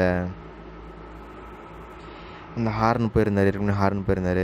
இந்த இது புலித்தவர் ஏதாச்சும் பண்ணணும் அவர் வந்து சம்மதிக்க வைக்கணும் அப்படிங்கிறதாக போவாங்க ஆனால் அவரால் போக முடியாது அப்படிங்கிறதெல்லாம் பார்க்குறோம். அப்போ அதாவது படை வந்து நிறைய செலவு பண்ண முடியாதுன்னு சொல்லி நம்ம ஹார்ன் வந்து என்ன பண்ணார் ரிட்டன் அடிச்சுடுவார். அப்புறம் அவரோட வேலைக்கு என்ன பண்ணுவாங்க? ரிட்டன் அடித்து அனுப்பிச்சி விட்ருவாங்க அதனால் வந்து நவாபுங்களாம் சேர்ந்து தான் போவாங்க. பார்த்தீங்கன்னா நவாப் வந்து கூடுதல் படைகளை வந்து மாஃபூஸ் கானுக்கு வந்து ஸ்ட்ரென்த்து கொடுக்குற மாதிரி அனுப்புவார். ஸோ மேலும் கம்பெனியின் ஆயிரம் சிப்பாய்களோடு ஆயிரம் அதாவது யார் யார் போகிறாங்கன்னு கேட்டிங்கன்னா இப்போ யாருன்னா மாஃபூஸ் கான் போகிறாரு ஸோ மாஃபூஸ் மாப்பு போயிட்டு வா மாப்பு ஸோ கம்பெனி வந்து ஆயிரம் பேர் அனுப்புகிறாங்க ஆமாம் கம்பெனி ஆயிரம் சிப்பாய்களோடு. ஸோ நவாபால் அனுப்பப்பட்ட ஆறுநூறுக்கும் மேற்பட்ட படை வீரர்களையும் மாப்பூஸ் கான் பெற்றார். அதாவது நவாப் என்ன பண்ணுறாருன்னா அறுநூறு பேர் அனுப்புகிறார் நவாப் அவர் கிட்டத்தட்ட ஆயிரத்தி இரநூறு பேர் அனுப்புகிறாங்க ஸோ மேலும் என்ன பண்ணுறாருனாக்கா இந்த மாப்பூஸ் கான் அது நவாப் வந்து மாப்பூஸ் கானுக்கு வந்து இன்னும் பலத்தை வந்து கொடுத்துருக்கிறாரு. வீரர்களையும் மாப்பூஸ் கான் பெற்றார். ஸோ மேலும் அவர்களுக்கு கர்நாடக பகுதியிலிருந்து கர்நாடகா பகுதியிலிருந்து குதிரைப்படை மற்றும் காலப்படை ஆதரவும் இருந்தது. ஸோ குதிரைப்படையும் இருந்துச்சு. மற்றும் என்னங்க? காலாட்படை. ஸோ குதிரைப்படை இருந்துச்சு. அப்புறம் வந்து காலாட்படை ஆதரவும் இருந்துச்சு. ஸோ மாப்பூஸ் கான் களக்காடு மாப்பது களக்கடப்பு ஸோ மாப்பூஸ் கன்னடம் என்ன பண்ணுறாருன்னா களக்காடு பகுதியில் தனது படைகளை நிலைநிறுத்தும் முன்பாக திரு திருவிதாங்கூரின் ரெண்டாயிரம் வீரர்கள் புலித்தேவரின் படைகளோடு இணைந்தனர். ஸோ திருவிதாங்கூரின் ஸோ திருவிதா ஸோ திருங்கிறது திரு திருன்னு இருந்தவங்க முழிச்சிட்டாங்க திரு திருன்னு முழிச்சிட்டு இருப்பான் அவங்க முழிச்சிக்கிட்டாங்க திரு திருவிதாங்கூரின் இரண்டாயிரம் வீரர்கள் புலித்தேவரின் படைகளோடு இணைந்தனர். ஓகேங்களா ஸோ மாப்பூஸ் காடு வந்து மாப்பூஸ் காடு வந்து ஆயிரத்தி இரநூறு பேர் தான் ஆயிரத்தி இரநூறு பேர் தான் இருக்காங்க. அவங்களோட நிறைய குதிரைப்படம் இருக்குது. அப்புறம் வந்து கொஞ்சம் காலாட் படம்லாம் இருக்குது. ஆனால் எங்கே பார்த்தீங்கன்னா ஏற்கனவே புலித்தேவர்கிட்ட எத்தனையோ பேர் இருக்காங்க. யார் யார் இருக்காங்க? சந்தா சாஹிப் இருக்காங்க. அது மட்டும் இல்லாமல் ஹைதர் அலி இருக்கார். அப்புறம் ஃப்ரெஞ்சுக்காரங்க இருக்காங்க. அது மட்டும் இல்லாமல் புதுசாக திருவிதாங்கூரோட ரெண்டாயிரம் வீரர்கள் இருக்காங்க. ஸோ களக்காட்டில் நடைபெற்ற பொருள் மாப்பூஸ்கனின் படைகள் தோற்கடிக்கப்பட்டன. நம்ம படிக்கும்போது தெரியும். தோற்கப்பட்டு தோற்கடிக்கப்படும் சொல்லி. ஸோ யூபிஸ் கை அதாவது யூசுஃப் கானும் யூஃபிஸ் கானும் புலித்தேவரும் ரைட்டுங்களா யூஃபிஸ் கானும் ஆமாம் யூ யூசுப் கானும் புலித்தேவரும் சொல்கிறாங்க ஸோ புலித்தேவர் தலைமையில் ஒருங்கிணைக்கப்பட்ட பாளையக்காரர்கள் எதிர்ப்பு திருநெல்வேலி பகுதியில் ஆங்கிலேயர் நேரடியாக தலையிடுவதற்காக வாய்ப்பை ஏற்படுத்தி கொடுத்தது. புலித்தேவர் தலைமையில் ஒருங்கிணைக்கப்பட்ட அந்த பாளையக்காரர்கள் வந்து இவ்வளோ தான் அது தெரி இங்கிலீஷ்காரங்க எப்படின்னா தெரிஞ்சுக்குவாங்க. ஃபஸ்ட்டு வந்து யுக்திகள் தான் அவங்க ஃபாலோ பண்ணாங்க. மற்றபடி பலம்லாம் ஒன்றும் இல்லை. யுக்திகள் தான். ஃபஸ்ட்டு பிரிக்கணும். எத்தனை பேர் இருக்காங்கன்னு தெரிஞ்சுக்கிறணும். அதுதான். ஸோ திருவிதாங்கூர் மன்னர் திருவிதாங்கூர் மன்னர் தான் வந்து வேறு வேறு லெவலில் கடைசி நேரத்தில் ரெண்டாயிரம் பேரை கொடுத்து புலித்தேவரை காப்பாற்றிட்டாரு அது மட்டும் இல்லாமல் ம நம்ம நாட்டு மக்களையும் காப்பாற்றிருக்காங்க அந்த பகுதியை சேர்ந்த அந்த பாளையக்காரர்களையும் காப்பாற்றிருக்காங்க ஸோ திருவிதாங்கூர மன்னரோட ஆதரவோடு ஆயிரத்தி எழுநூற்றி ஐம்பத்தி ஆறுலேருந்து ஆயிரத்தி ஆயிரத்தி எழுநூற்றி ஐம்பத்தி ஆறிலிருந்து ஆயிரத்தி எழுநூற்றி அறுபத்தி வரையிலான காலத்தில் புலித்தேவர் தலைமையிலான திருநெல்வேலி பாளையக்காரர்கள் நவ நவாபின் அதிகாரத்தை எதிர்ப்பதை எதிர்ப்பதையே முழு நோக்கமாக கொண்டிருந்தனர். ஸோ ஐம்பத்தி ஆறு அறுபத்தி மூணுலேருந்து வேறு லெவலில் பண்ணிருந்துருக்காங்க ஸோ கிட்டத்தட்ட பார்த்தீங்கன்னாக்கா இதில் ஒரு நாலு அதில் ஒரு மூணு அது மொத்தம் கிட்டத்தட்ட ஒரு ஏழு வருஷமாக இதே வேலை தான் பிடித்தவருக்கு ஐம்பத்தாறு அறுபத்தி யாருன்னா ஸோ திரு அரசர் பேர் பார்த்துக்கோங்க. அதுதான் மெயின் ஸோ திருவிதாங்கூர். கூறு போட்டு விற்றுருவார் அவர். அந்தளவுக்கு பவர் ஓகேங்களா? ஓகே ஸோ ஆமாம் ஸோ அதிகாரத்தை எதிர்ப்பதே முழு நோக்கமாக நெக்ஸ்ட்டு கம்பெனியாரால் அனுபவிக்கப்பட்ட யூசுப் கான் அதாவது கான் சாஹிப் என்னும் தமது மதமாற்றத்திற்கு முன்பு யூசுப் கான் இருக்க மாஃபூஸ் கான் இப்போ வந்து யூசுப் கான் இருக்கா இல்லைங்களா? யூசுப் கான் என்ன பண்ணுறாருன்னா கான் சாஹிப். சந்தா சாஹிப் வேறு கான் சாஹிப் வேறு. என்ன பண்ணுறாருன்னா ஸோ கம்பெனியில் கம்பெனியோட இணைஞ்சிருக்காரு ஃப்ரெண்ட்ஷிப்பாக இருக்கார். யூசுப் கானை வந்து என்னன்னாக்கா அவர் கான் சாஹிப்னு பேர். அவர் வந்து மத மாற்றம் பண்ணியிருந்திருப்பார். அவரோட பேர் ஆக்சுவலாக மருதநாயகம் தான். அவர் பேர் வந்து மருதநாயகம் மறு வச்சிட்டு இருப்பாருங்க ஓகேங்களா? அவர் வந்து என்ன பண்ணுவார்னா கான் சாஹிப் ஃபஸ்ட்டு கானாக மாறுவார். ஒரு வடிவில் வடிவில் ஒரு படத்தில் ஏதோ சொல்லுவார் இல்லையா? கான் பண்ணனு ஸோ ஏதோ ஒரு பேர் சொல்கிறதுக்கு பதிலாக கான் அப்படின்னு சொல்லுவார் அதே மாதிரி கானன் இருக்கார். அந்த கானை தான் வந்து யூசுஃப் கானாக மாற்றுறாரு இந்த யூசுஃப் கானா மாத்துறாரு தான் கான் சாஹிப். யூசுப் கானா மாத்திரார் மெயின் பேர் என்னென்னா மருதநாயகம் தான். ஸோ திருச்சிராப்பள்ளியிலிருந்து தான் எதிர்பார்த்த பெரும் பீரங்கிகள் மற்றும் வெடிப்பொருட்கள் வந்து சேரும் வரை புலித்தேவர் மீது தாக்குதல் தொடுக்க அவர் ஆயுத்தமாகவில்லை. ஏன்னா ஆயுத்த ஏன்னா புலித்தேவர்கிட்ட யார் இருக்காங்க? சந்தா சாஹிப் இருக்காங்க ஹைதர் ஹைதராலி இருக்காங்க. பட் ஹைதராலி வந்து அங்கே அங்கே மரத்தரோட பிரச்சனை. இருந்தாலும் கொஞ்சம் சில பேர் அனுப்புவாங்க இல்லைங்களா? அப்புறம் சந்தா சாஹிபு அப்புறம் வேறன்னு பார்த்தீங்கன்னாக்கா நம்ம வந்து கூறுப்பட்டு போட்டு திருவிதாங்கூர் திருவிதாங்கூர் அரசு ரெண்டாயிரம் பேர் வச்சுருக்காரு. பழமாச்சியர் பார்க்குறாங்க. அதனால் இதெல்லாம் பார்த்துக்கிட்டு நம்ம இவர் நம்ம மருதநாயகம் மருதநாயகம்னு கூறப்படுற அந்த கானு அந்த கானு கூப்பிடும் கூட கூறப்படுற அந்த யூசுஃப் கானு ஓகேங்களா ரைட்டுங்க. அந்த யூசுஃப் கான அந்த நிறைய பாளையக்காரர் நிறைய பேரோட வராங்க. திருச்சிராப்பில் நின்றுருக்காரு. ஓகேங்களா ஸோ பிரெஞ்சு படைகளோட ஒரு புறமும் ஹைதர் அலி மற்றும் மராத்தியரோட மறுபுறமும் ஆங்கிலேயர் ஈடுபட்டு அதாவது பிரெஞ்சு படைகளோட ஒரு புறம் பிரெஞ்சு படைகளோட ஒரு புறமும் ஹைதர் அலி மற்றும் நம்ம யூசுஃப் என்ன பண்ணுறாருன்னா அந்த பெரும் பே- வரும் அது வரைக்கும் வெயிட் பண்ணுவோம் அப்படிங்கிற மாதிரி நின்றுருக்காரு நம்ம ஃப்ரெஞ்சு படைகளோட ஒரு புறமும் ஹைதர் அலி மற்றும் மராத்தியரோட மறுபுறமும் ஆங்கிலேயர் போரில் ஈடுபட்டு கொண்டிருந்ததால் பீரங்கி படைகள் செப்டம்பர் ஆயிரத்தி எழுநூற்றி அறுபதில் தான் வந்து சேர்ந்தன.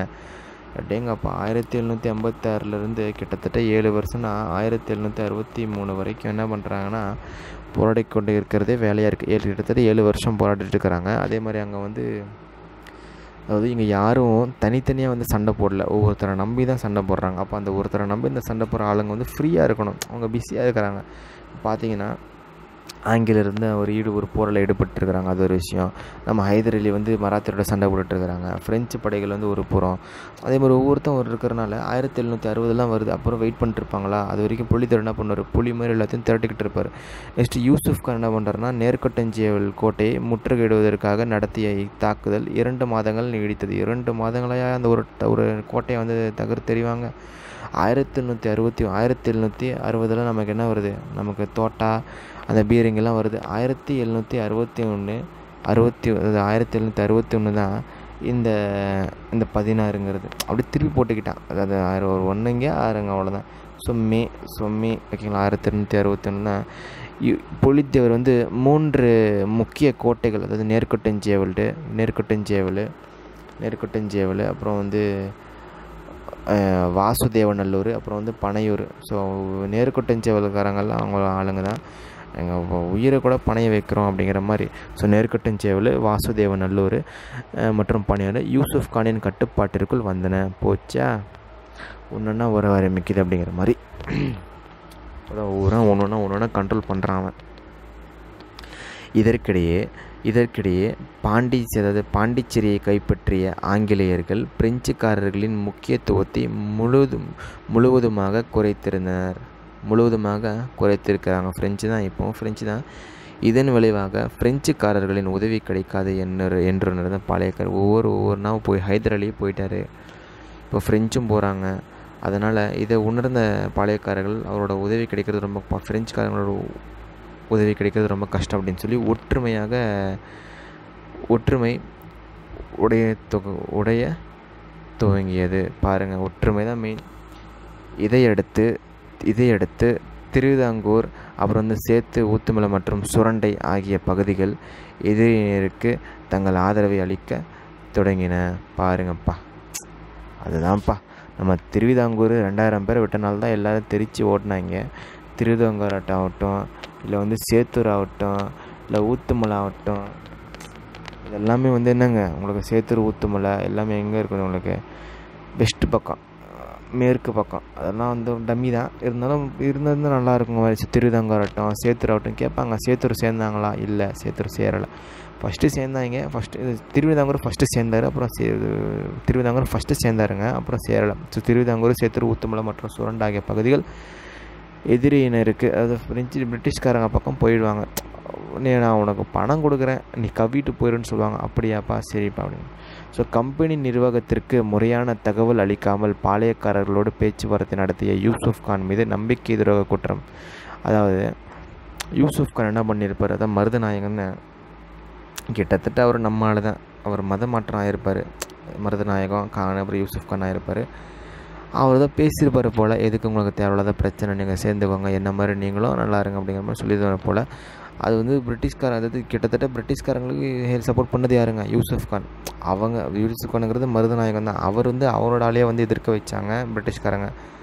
இருந்தாலும் நீ எப்படி நீ தனியாக பேசலாம் அப்படிங்கிற மாதிரி என்ன பண்ண குற்றம் சுமத்தப்பட்டு ஆயிரத்தி எழுநூற்றி அறுபத்தி நாலில் தூக்கில் போட்டுருவாங்க. தூக்கில் போட்டுருவாங்க கொடுமை பண்ணுவாங்க. நெக்ஸ்ட்டு புலித்தேவரோட வீழ்ச்சி. ஸோ புலித்தேவர் இந்த அளவுக்கு ஸ்ட்ராங்காக இருக்குது வீழ்ச்சின்னு பார்த்தீங்கன்னா கான் சாஹிப் காலமானதை தொடர்ந்து ஸோ கான் சாஹிப் தான் நமக்கு எல்லாமே அப்படிங்கிற மாதிரி தான் இருந்துச்சு. ஸோ நாளடைந்த நிலையில் சுற்றி வந்த புலித்தேவர் திரும்பி வந்து ஆயிரத்தி எழுநூற்றி அறுபத்தி நாலில் நெருக்குட்டஞ்சேவலை மீண்டும் கைப்பற்றினார். எனினும் ஆயிரத்தி ஆயிரத்தி நாடிலிருந்த ஆமாம் ஆயிரத்தி எழுநூற்றி அறுபத்தேழில் கேப்டன் கேம்பேல் என்பவரால் தோற்கடிக்கப்பட்டார். ஸோ மணி அடித்து விட்டுறணும்.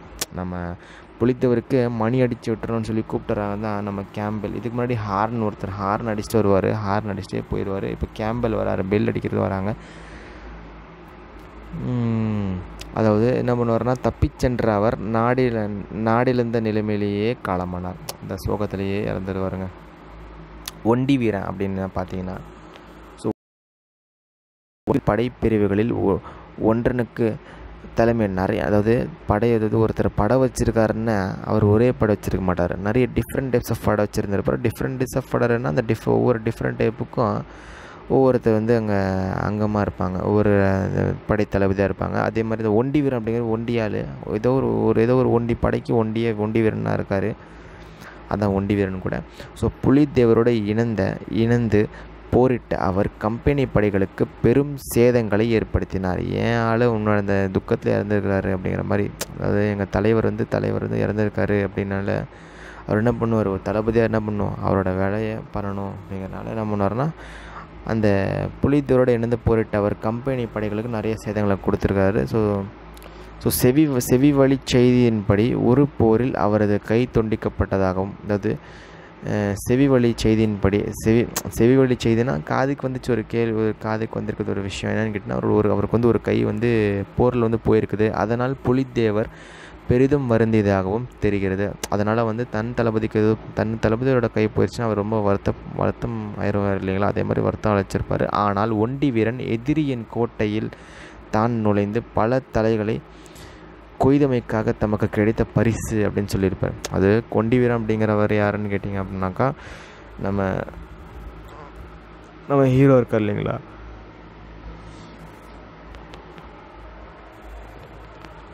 நம்ம புலிதேவர் இருக்கார் இல்லைங்களா? நம்ம புலிதேவரோட ஒரு படையில் இருக்கிற ஒரு வீரர் தான் அவர். ஒரு தளபதி தான் அவர். அவர் என்ன பண்ணாருன்னா நம்மளோட ராஜா வந்து புலிதேவர் இறந்துருக்காரு. காலமாயிட்டார் அதை நினச்சி இறந்துட்டார் காலமாயிட்டார். ஏன்னா எல்லாரும் கைவிட்டுட்டாங்க இல்லையா? அதனால தான் நம்ம ஏதாவது பண்ணணும்னு சொல்லி ஆங்கிலேயர்களோட நிறைய படைகளுக்கு வந்து நிறைய இந்த கம்பெனிக்கு வந்து நிறைய சேதப்படுத்துவார். நிறைய சேதப்படுத்துவார். அது மட்டும் இல்லாமல் நம்ம செவி வலிச்சு இதனால் காது வழியாக நமக்கு ஒரு விஷயம் வந்துச்சு. என்னன்னு கேட்டிங்கன்னா அவருக்கு ஒரு கை தான் இருக்குது ஸோ இன்னொரு கை வந்து போரில் வந்து போரில் வந்து போயிருக்கோம். அதை வந்து நினச்சி நம்ம நம்ம ஹீரோ ஸோ நம்ம புலிதேவர் வந்து வருந்ததா வருந்தத நாளே இல்லை அப்படின்னு சொல்கிறார் ஆனால் இவர் கேட்டால் நம்ம ஒண்டிவரனை கேட்டால் அது வந்து என்னோடய பரிசு. போரில் நிறைய பேரோட தலையை நான் வந்து கொய்திருக்கிறேன். அதுக்கான பரிசு தான் எனக்கு அப்படின்னு சொல்லுவார். நெக்ஸ்ட்டு வேலுநாச்சர் வந்துட்டாங்க. இவங்க தான் மெயின் வேலுநாச்சர் நான் ஃபஸ்ட்டு இந்த இன்ட்ரடக்ஷனில் பார்த்தோம். அதனால தான் இன்ட்ரடக்ஷன் படிக்கிறது இப்போ புரியுதுங்களா? ஆயிரத்தி எழுநூற்றி முப்பதுலேருந்து முப்பதுலேருந்து அதாவது முப்பதுலேருந்து தொண்ணூற்றி ஆறு முப்பதுலேருந்து தொண்ணூற்றி ஆறுன்னு சொல்கிறாங்க ரைட்டுங்களா ஸோ முப்பதுலேருந்து தொண்ணூற்றி ஆறு இதுக்கு முன்னாடி பார்த்தீங்கன்னா ஆயிரத்தி எழுநூற்றி ஐம்பத்தி அஞ்சு. ஸோ அஞ்சு ஆறு ஏழு. இதெல்லாமே என்னங்க? ஸோ பதினேழு பதினேழாம் நூற்றாண்டு பதினெட்டாம் நூற்றாண்டு தான். ஃபஸ்ட்டு நம்ம புலிதேவர் வராரு அவர் ஒரு நூறு வருஷம் வாழ்ந்துருந்தா கூட நமக்கு என்னங்க? ஒரு நூறு வருஷம் வாழல வாழ்ந்த நூறு ஐம்பது வருஷம் தான் இருக்குன்னு நினைக்கிறேன். அப்படி பார்த்தாலுமே இது பாருங்கள் ஒரு ஐம்பத்தஞ்சுங்க. அதில் ஒரு ஆயிரத்தி தொண்ணூற்றி ஐம்பத்தஞ்சு டு அறுபத்தேழுன்னு பார்த்துருந்தோம். ரொம்ப குறைவு தான். ரொம்ப குறைவு தான். அப்படி பார்த்தீங்கன்னா ஆயிரத்தி எண்ணூற்றி பதினேழு நூற்றாண்டு தான் வரும். சரி நம்ம லெசனுக்கு வந்துடுவோம் ஸோ ராமநாதபுரத்தின் அரசர் ராமநாதபுரத்திலோட அரசர் அதாவது ஏற்கனவே நம்ம சொல்லியிருக்கிறோம் ராமநாதபுரம் ஆகட்டும் புதுக்கோட்டை ஆகட்டும் ஆங்கிலேயர்களுக்கு ஃபுல் சப்போர்ட் ஸோ ராமநாதபுரின் அரசர் செல்லமுத்து செல்லமாக செல்லமுத்து சேதுபதிக்கு செல்லமாக வளர்த்துருப்பார் ஒரு பொண்ணை. அதான் செல்லமுத்து. செல்லமுத்து சேதுபதி சேதுபதி தான் அவர். ஆயிரத்தி எழுநூற்றி முப்பதில் ஆயிரத்தி எழுநூற்றி முப்பதில் அரச குடும்பத்தின் ஒரே பெண் வாரிசாக வேலு நாச்சியார் பிறந்தார். மன்னருக்கு ஆண் வாரிசு இல்லை. மன்னருக்கு வந்து ஆண் வாரிசு இல்லை. அரச குடும்பத்தால் வளரி சிலம்பம் வளரி ஆகட்டும் இல்லை சிலம்பாகட்டும் நிறைய படத்தில் பார்த்துருப்பீங்க. வளரி ஆகட்டும் சிலம்பம் போன்ற தற்காப்பு கலைகளிலும் போர்க்கருவிகளையும் கையாளுவதற்கும் பயிற்சி அளிக்கப்பட்டு வளர்க்கப்பட்டார். மேலும் அவர் வளரி சிலம்பம் ஸோ மேலும் அவர் ஆங்கிலம் ஃப்ரெஞ்சு உருது இவர் ஜெயிச்சாங்கன்னா வேலுநாச்சியார் ஜெயித்தது காரணமே அவருக்கு வந்து உருது தெரியும். அதுதான் இம்பார்ட்டண்டான விஷயம். மேலும் அவர் ஆங்கிலம் ஆகட்டும் ஃப்ரெஞ்சு ஆகட்டும் உருது ஆகட்டும் போன்ற மொழிகளில் வல்லமை பெற்றிருந்ததோடு குதிரை ஏற்றுறது அதாவது குதிரை ஏற்றுறதிலும் வில் வித்தையிலையும் திறமையானவராக விளங்கினார். நல்லா பண்ணியிருக்கிறாங்கப்பா வேலுநாச்சியார் ஆனால் இல்லை. ரைட்டுங்க ஸோ தனது பதினாறாவது வயதில் வேலுநாச்சியார் சிவகங்கை மன்னரான அதாவது பதினாறு வயசுலேயே பதினாறு வயது வயது நிலை படம் பார்த்தீங்களா? அதே மாதிரி தான் ஸோ தனது பதினாறு வயது நிலை சிவகங்கை. ஸோ சிவகங்கை அப்படிங்கிறது ஏற்கனவே சிவகிரின்னு சொல்லுவோம் சிவகிரி அப்படிங்கிறவங்க வந்து நம்ம புலித்தேவருக்கு வந்து ஹெல்ப் பண்ணுறது இருப்பாங்க. ரைட்டு பார்க்கலாம். நம்ம பதினாறு வயசில் வேலுநாச்சியார் வந்து சிவகங்கை மன்னர் சிவகங்கை மன்னர் தான் ஸோ சிவந்த முத்து. ஸோ சிவப்பு கலரில் இருக்குங்க முத்து. அதுதான் விஷயம். சிவப்பு கலர் முத்து. நம்ம முத்து பெத்தெடுத்த தத்தெடுத்த நம்ம வேலுநாச்சியாருக்கு வந்து இந்த சிவ இந்த சிவகங்கை சிவகிரின்னு குழப்பிக்காதீங்க. இந்த சிவகங்கை மன்னரான நம்ம முத்து ஆமாம் முத்து வடுகநாதரை மணந்து வெள்ளச்சி நாச்சியார் என்ற பெண் மகளையும் அதாவது இவங்களும் ஒரு பெண் இவங்களுக்கு ஒரு பெண் தான் வருது. இப்போ பிறக்கிறாங்க. ஸோ வெள்ளச்சி ஸோ வெள்ளையாகிறாங்க பாவம். ஆயிரத்தி எழுநூற்றி எழுபத்தி ரெண்டில் ஆற்காட்டு நவாப் ஆகட்டும். ஆற்காட்டு நவாப் தெரியும் இல்லையா? ஆற்காட்டு நவாபு லெஃப்டினன்ட் ஆற்காடு நவாப் தான் அப்போலேருந்து நமக்கு பெரிய பிரச்சனை ஓகேங்களா ஆயிரத்தி எழுநூற்றி எழுபத்தி ரெண்டில் ஆற்காடு நவாபும் லெஃப்டினன்ட் கர்னல் வான்ஜோர் ஜோர் ஜோர் ஜோராக இருக்கும். எப்படிங்க? ஜோராக இருக்கும். கர்னல் பான் ஜோர் ஜோராக ஆரம்பிக்கிறாரு. தலைமையிலான கம்பெனி படைகளும் இணைந்து ஆர்காட் நவாபும் நான் ஆர்காட் நவாப் ஆகட்டும் ஃபஸ்ட்டு நான் ஆர்காட் நவாப் ஆகட்டும் ப்ளஸ் என்னங்கன்னா ஜோராக வராங்க. ஜோராக கை தட்டுங்கப்பா. இன்றைக்கி பிரச்சனை போது லெஃப்டினண்ட் லெஃப்டினண்ட் இது லெஃப்ட் ஹேண்ட் அவன். ஞாபகம் ஜஸ்ட் ஞாபகம் வச்சுக்கோங்க. லெஃப்டினண்ட் கார்னல் பான் ஜோர் லெஃப்டினண்ட் கார்னல் ஜோர் வரும். ஆர்காட் நவாபும் சேர்ந்து என்ன பண்ணுறாங்க கம்பெனி படைகளும் இணைந்து காளையார் கோயில் அதாவது காளையார் கோயிலெலாம் காளை வந்தாலே வாடிவாசல் திறந்து வந்தாலே காளைகள்லாம் வந்தாலே ஜோராக இருக்கும். அந்த ஜோறு காளையார் கோயில் அரண்மனையை தாக்கினர். அப்படி காளையார் கோயில் அரண்மனையை தாக்கியிருக்கிறாங்க. இதனால் மூண்ட போரில் முத்து உடகநாதர் கொல்லப்பட்டார். முத்து உடகநாதருங்கிறது யாருங்க? நம்ம வெல் நம்ம வேலுநாச்சியார் நம்ம வேலுநாச்சியாரோட கணவன் இல்லையா? நம்ம வேலுநாச்சியாரோட கணவர் அப்படிங்கிறாங்க. ரைட்டுங்களா? ஸோ தனது மகளோடு தப்பிச் சென்ற அவங்களுக்கு ஒரு பெண்ணும் இருக்குது ஸோ வெள்ளச்சி. தனது மகளோட அடுத்தது என்ன பண்ணுவாங்க? ஸோ நம்மளோட தான் கொள்ள வருவாங்கன்னு சொல்லி என்ன பண்ணாங்க? கொஞ்சம் யுக்தியாக நம்ம வேலு நாச்சி என்ன பண்ணுறாங்க நம்ம வந்து பிறந்த வீட்டுக்கே போயிடலாங்கிற மாதிரி தனது மகளோடு தப்பிச் சென்ற வேலுநாச்சியார் கோபால நாயக்கரின் கோபால நாய் அதாவது என்ன பண்ணுறாருன்னா அவங்க அப்பா வீட்டுக்கு போகல அப்பா வீட்டுக்கு போனால் கண்டே வந்துடுவாங்க எங்கள் அப்பாவுக்கும் பிரச்சனை வரும்னு சொல்லி கோபால நாயக்கரின் பாதுகாப்பில் திண்டுக்கலுக்கு போயிடுறாரு அங்கே திண்டுக்கல் போட்டுலாம் ரொம்ப ஸ்ட்ராங்காக இருக்கும். பூட்டு போட்டு நம்ம உள்ள உட்காந்துக்கிறாங்கிற மாதிரி. ஸோ கோபால நாயக்கரின் கோபால நாயக்கரின் பாதுகாப்பில் திண்டுக்கல் அருகே உள்ள விருப்பாட்சிக்கு போயிருக்காரு. விருப்பாட்சி தான் முக்கியம். திருப்பி அதாவது நம்ம திண்டுக்கல் முக்கியமாக விருப்பாட்சி முக்கியம்னு கேட்டிங்கன்னா விருப்பாட்சி தான் முக்கியம். எட்டு ஆண்டுகள் வாழ்ந்து விருப்பாட்சியில் இருந்துக்கார். பாவம் எட்டு ஆண்டுகள் விருப்பாட்சியில் இருந்துகிறது மறைந்து வாழ்ந்த காலத்தில் வேலுநாச்சியார் ஒரு படைப்பிரிவை உருவாக்கியதோடு கோபால நாயக்கர் மட்டுமல்லாமல் ஹைதர் அலியோடும் கூட்டணி ஏற்படுத்தி கொண்டார். இந்த ஹைதர் அலி ஹைதர் அலி அப்படிங்கிறது எல்லாருமே எக்ஸ்பெக்ட் பண்ணுவாங்க. ஹைதர் அலி வந்தால் பரவாயில்லையே. ஆனால் ஒருத்தர் கூட வர மாட்டார். அவர் மராத்தியரை வந்து சமாளிக்கிறதே ஒரு பெரிய ஒரு போராக இருக்கும். எட்டு வருஷம் வந்து திண்டுக்கல்லில் இருக்கிற விருப்பாச்சியில் வந்து மறைந்து வாழ்கிறாங்க ஸோ கோபால நாயக்கரோட ஹெல்ப்பில் தான். ஏன்னா நாயக்கர்களுக்கு ஏதாவதுனா வந்து யார் ஹெல்ப் பண்ணிட்டுருந்தாங்க இது வரைக்கும்? பாளையக்காரர்கள் தான் அதனால் நாயக்கர்கள் வந்து முன் வந்து நாங்கள் உங்களுக்கு ஹெல்ப் பண்ணுறோன்னு சொல்லி கோபால நாயக்கர் வந்து ஹெல்ப் பண்ணிட்டு இருந்தார். யாருங்க? நம்ம வேலு நாச்சியாருக்கு. அவர் வந்து ஒரு படையை வந்து திரட்டிகிட்டு இருப்பார். ஏன்னா நம்ம எட்டு வருஷம் சும்மா உட்காரக்கூடாது. நம்ம வந்து நம்ம ஸ்ட்ராங்காக இருக்கும் படையை திரட்டிகிட்டு இருப்பார். ஸோ வேலுநாச்சியா படையை திட்டுறது மட்டும் ஹைதராலியும் திரும்பி வந்து அழைப்பு ஸோ வேலுநாச்சியாரின் சார்பில் ஹைதர் அலிக்கு தலவாய் அதாவது இராணுவ தலைவர் தாண்டவராயனார் எழுதிய கடிதத்தில் தான் இராணுவ தலைவர் தாண்டவராயனர் எழுதிய யார் எழுதின கடிதத்தை யார் எழுதுறான்னு கேட்டால் தாண்டவராயனர் எழுதிய கடிதத்தில் ஆங்கிலேயரையே தோற்கடிக்கும் பொருட்டு அஞ்சாயிரம் காலாட்படை எனக்கு தேவை. அஞ்சாயிரம் காலாட்படை எனக்கு தேவை. ஏன்னா ஹைதர் அலி பெரிய ஆள். இந்த இதனால். அவர்கிட்ட இருக்கும். அஞ்சாயிரம் காலாட்படாகட்டும் இல்லை அஞ்சாயிரம் குதிரைப்படைகளாகட்டும் அனுப்பும்படி அவரிடம் கோரினார். ஸோ வேலு நாச்சியார் என்ன பண்ணுறாருனா உருது மொழியில் தனக்கு கிழக்கிந்திய கம்பெனியோடு இருந்த பெண்ணுக்குகளை கடிதத்தில் விவரித்தார். அவர் உருது மொழி தெரிஞ்சனால இவ்வளோ பண்ணுறாரு ஹைதர் அலிங்கிறது முஸ்லீம் தான். அவர் உருது தான் அதனால் உருது உருது சேர்ந்துருச்சு. சேர்ந்துருச்சுன்னா இணைந்திருச்சு. ஒருத்தரை எதிர்க்கிறத இணைந்திருக்காங்க அவ்வளோதான் நல்ல முறையில். ஸோ மேலும் தான் ஆங்கிலேயர்களோடு மோதுவதில் தீவிரமாக இருப்பதை தெரிவுபடுத்தினார். அவரது மன உறுதியை பார்த்து வியந்த ஹைதர் அலி தனது திண்டுக்கல் கோட்டை அவருக்கு திண்டுக்கல் கோட்டை அங்கே இருக்குது. திண்டுக்கல் கோட்டை அவங்க நம்ம ஆளுங்க அங்கே இருக்காங்கல்ல அதே மாதிரி தான் தனது திண்டுக்கல் கோட்டை படைத்தலைவரான சையதிட சையதிடம் அவருக்கு வேண்டிய இராணுவ உதவிகளை வழங்குமாறு. அதாவது நம்ம சொல்கிறல அம்மா நீ எதுவும் கவலைப்படாதம்மா. சென்னைக்கு நம்ம நம்ம ஆளுங்க இருக்காங்கம்மா. நம்ம அனுப்புகிறோம்மா நம்ம ஹெல்ப் பண்ண சொல்கிறோம்மா நம்ம ஃப்ரெண்ட்ஸ் இருக்காங்க. அதே மாதிரி தான் சையத் அப்படிங்கிறவங்க திண்டுக்கல் திண்டுக்கல் கோட்டை அப்படிங்கிறது ஹைதர் அலிக்கு இங்கே இருக்குது. அந்த ஹைதர் அந்த திண்டுக்கல் கோட்டையை பார்த்துக்கிறது நம்ம சையதோட வேலை. அந்த சையதை வந்து இவர் வேலுநாச்சியார் கொஞ்சம் ஹெல்ப் பண்ணுங்க அப்படிங்கிற மாதிரி சொல்லியிருப்பாங்க. ஸோ விருப்பாட்சியின் பாளையக்காரரான கோபால நாயக்கர் எப்படி அவரோட ஹிஸ்டரின்னு கேட்டால் கோபால நாயக்கரை தலைவராக கொண்ட திண்டுக்கல் கூட்டமைப்பில் திண்டுக்கல் லீக்னு சொல்லுவாங்க. மணப்பாறையின் லட்சுமி நாயக்கரும். மணப்பாறையோட லட்சுமி நாயக்கராகட்டும் இல்லை வந்து தேவதானப்பட்டியின் பூஜை நாயக்கரும் இடம்பெற்றிருந்தனர் ஸோ இந்த திண்டுக்கல் மணப்பாறையோட லட்சுமி நாயக் மணப்பாறைனாலே மணப்பாறையோட அந்த திண்டுக்கல் லீகுனாலே நம்ம ஞாபகம் வருது லட்சுமி. அது வீட்டில் லட்சுமிங்கிறது பணம் சொல்லுவோம். பணம் சொல்லுவோம். அந்த பணத்தை பாதுகாக்கிறதுக்கு திண்டுக்கல் பூட்டு யூஸ் பண்ணுறோம் அது மட்டும் இல்லாமல் தேவனை பூஜை பூஜை அறையில் இருக்கிற அந்த சாமனை வந்து பாதுகாக்கிறதுக்கும் யூஸ் பண்ணுறோம் அதான் லட்சுமி நாயக்கராகட்டும் இல்லை தேவநாதப்பட்டின பூஜை நாயக்கராகட்டும் நாயக்கருக்கு தான் ரெண்டு பேரும் இடம்பெற்றிருந்த தனது நட்பை வெளிப்படுத்தும் விதமான ஒரு நட்பு ஒரு வைத்த திப்பு சுல்தானால் கோபால நாயக்கர் இருக்கப்பட்டார். அதாவது என்னன்னு கேட்டிங்கன்னா தனது நட்பை வெளிப்படுத்தும் விதமாக ஒரு நல்லுறவை குழுவை அனுப்பி அனுப்பி வைத்த திப்பு சுல்தானால் கோபால நாயக்கர் இருப்பார். அதாவது இந்த சுல்தான் அப்படிங்கிறவங்க இது என்னதான் வேறு மதத்தில் இருந்தாலுமே அவர் என்ன பண்ணுறாருங்க ஒரு நட்புறம் நமக்குள்ளே வேணும் அப்படிங்கிறனால நிறைய விஷயம் கொடுத்துட்ருக்காரு. அதனால் நல்லா ஏற்கப்பட்டாருங்க. நம்ம லட்சுமியும் நம்ம லட்சுமி அப்புறம் வேறு யாருங்க? நம்ம தேவதானப்பட்டினா பூஜை நாயக்கர்.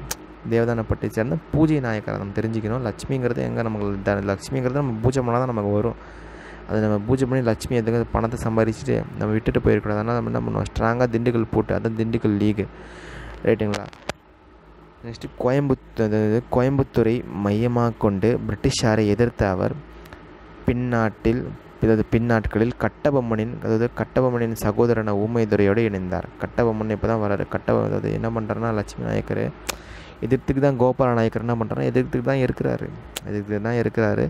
அவர் என்ன பண்ணுறாருன்னா கொஞ்சம் கட்டபொம்மனோட சகோதரர் ஊமதுரையோடு இணைந்தார். ஓகேங்களா? ஸோ கோயம்புத்தூர் தான் மெய்யமாக வச்சு பிரிட்டிஷார் வந்து எதிர்த்து எதிர்த்துட்டு இருந்தார் ஓகேங்களா? ஸோ கோபால நாயக்கர் அப்படிங்கிறவர். கோபாலா அப்படிங்கிற மாதிரி. அவர் உள்ளூர் விவசாயிகளின் ஆதரவுடன் ஆனைமலையில் ஆனைமலை அங்கே தான் இருக்குது ஆனைமலையின் கடும் போர் புரிந்தார். ஆயினும் பிரிட்டிஷ் படைகளால் அவர் ஆயிரத்தி எட்நூற்றி ஒன்றில் வெற்றி கொள்ளப்பட்டார். பிரிட்டிஷ் படைகளால் அவங்க வெற்றி பட்டுட்டாங்க. அதனால தான் என்ன பண்ணாங்க வேலுநாச்சியார் டக்குன்னு கோபால நாயகர்கிட்ட போயிட்டார்.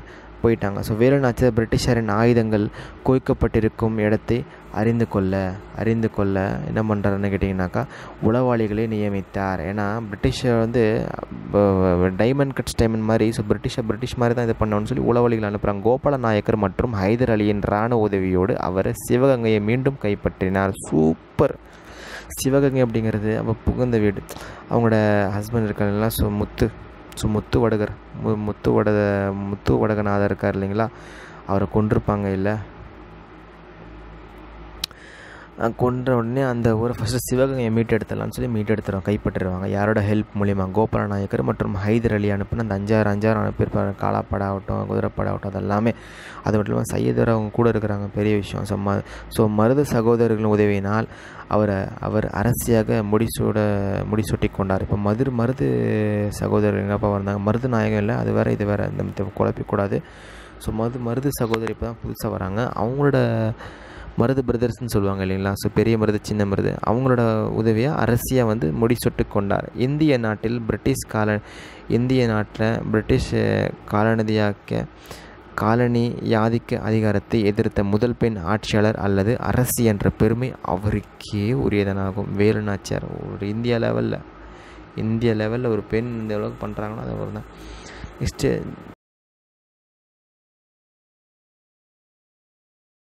குயிலி உடையால் குயிலி உடையல் குயில் மாதிரி இருப்பாங்களாமா? குயிலி உடையால் அப்படிங்கிறவங்க தான் ரொம்ப மிகுந்த தோழி என்ற பெண்களின் படைப்பிரிவை தலைமை ஏற்று வழிநடத்தினார் ஸோ உடையால் என்பது குயிலி பற்றி உடையால் என்பது குயிலி பற்றி உளவு கூறுமறுத்தால் கொல்லப்பட்ட மெய்த்தல் அதாவது மெய்த்தல் தொழில் புரிந்த பெண்ணின் பெயராகும்.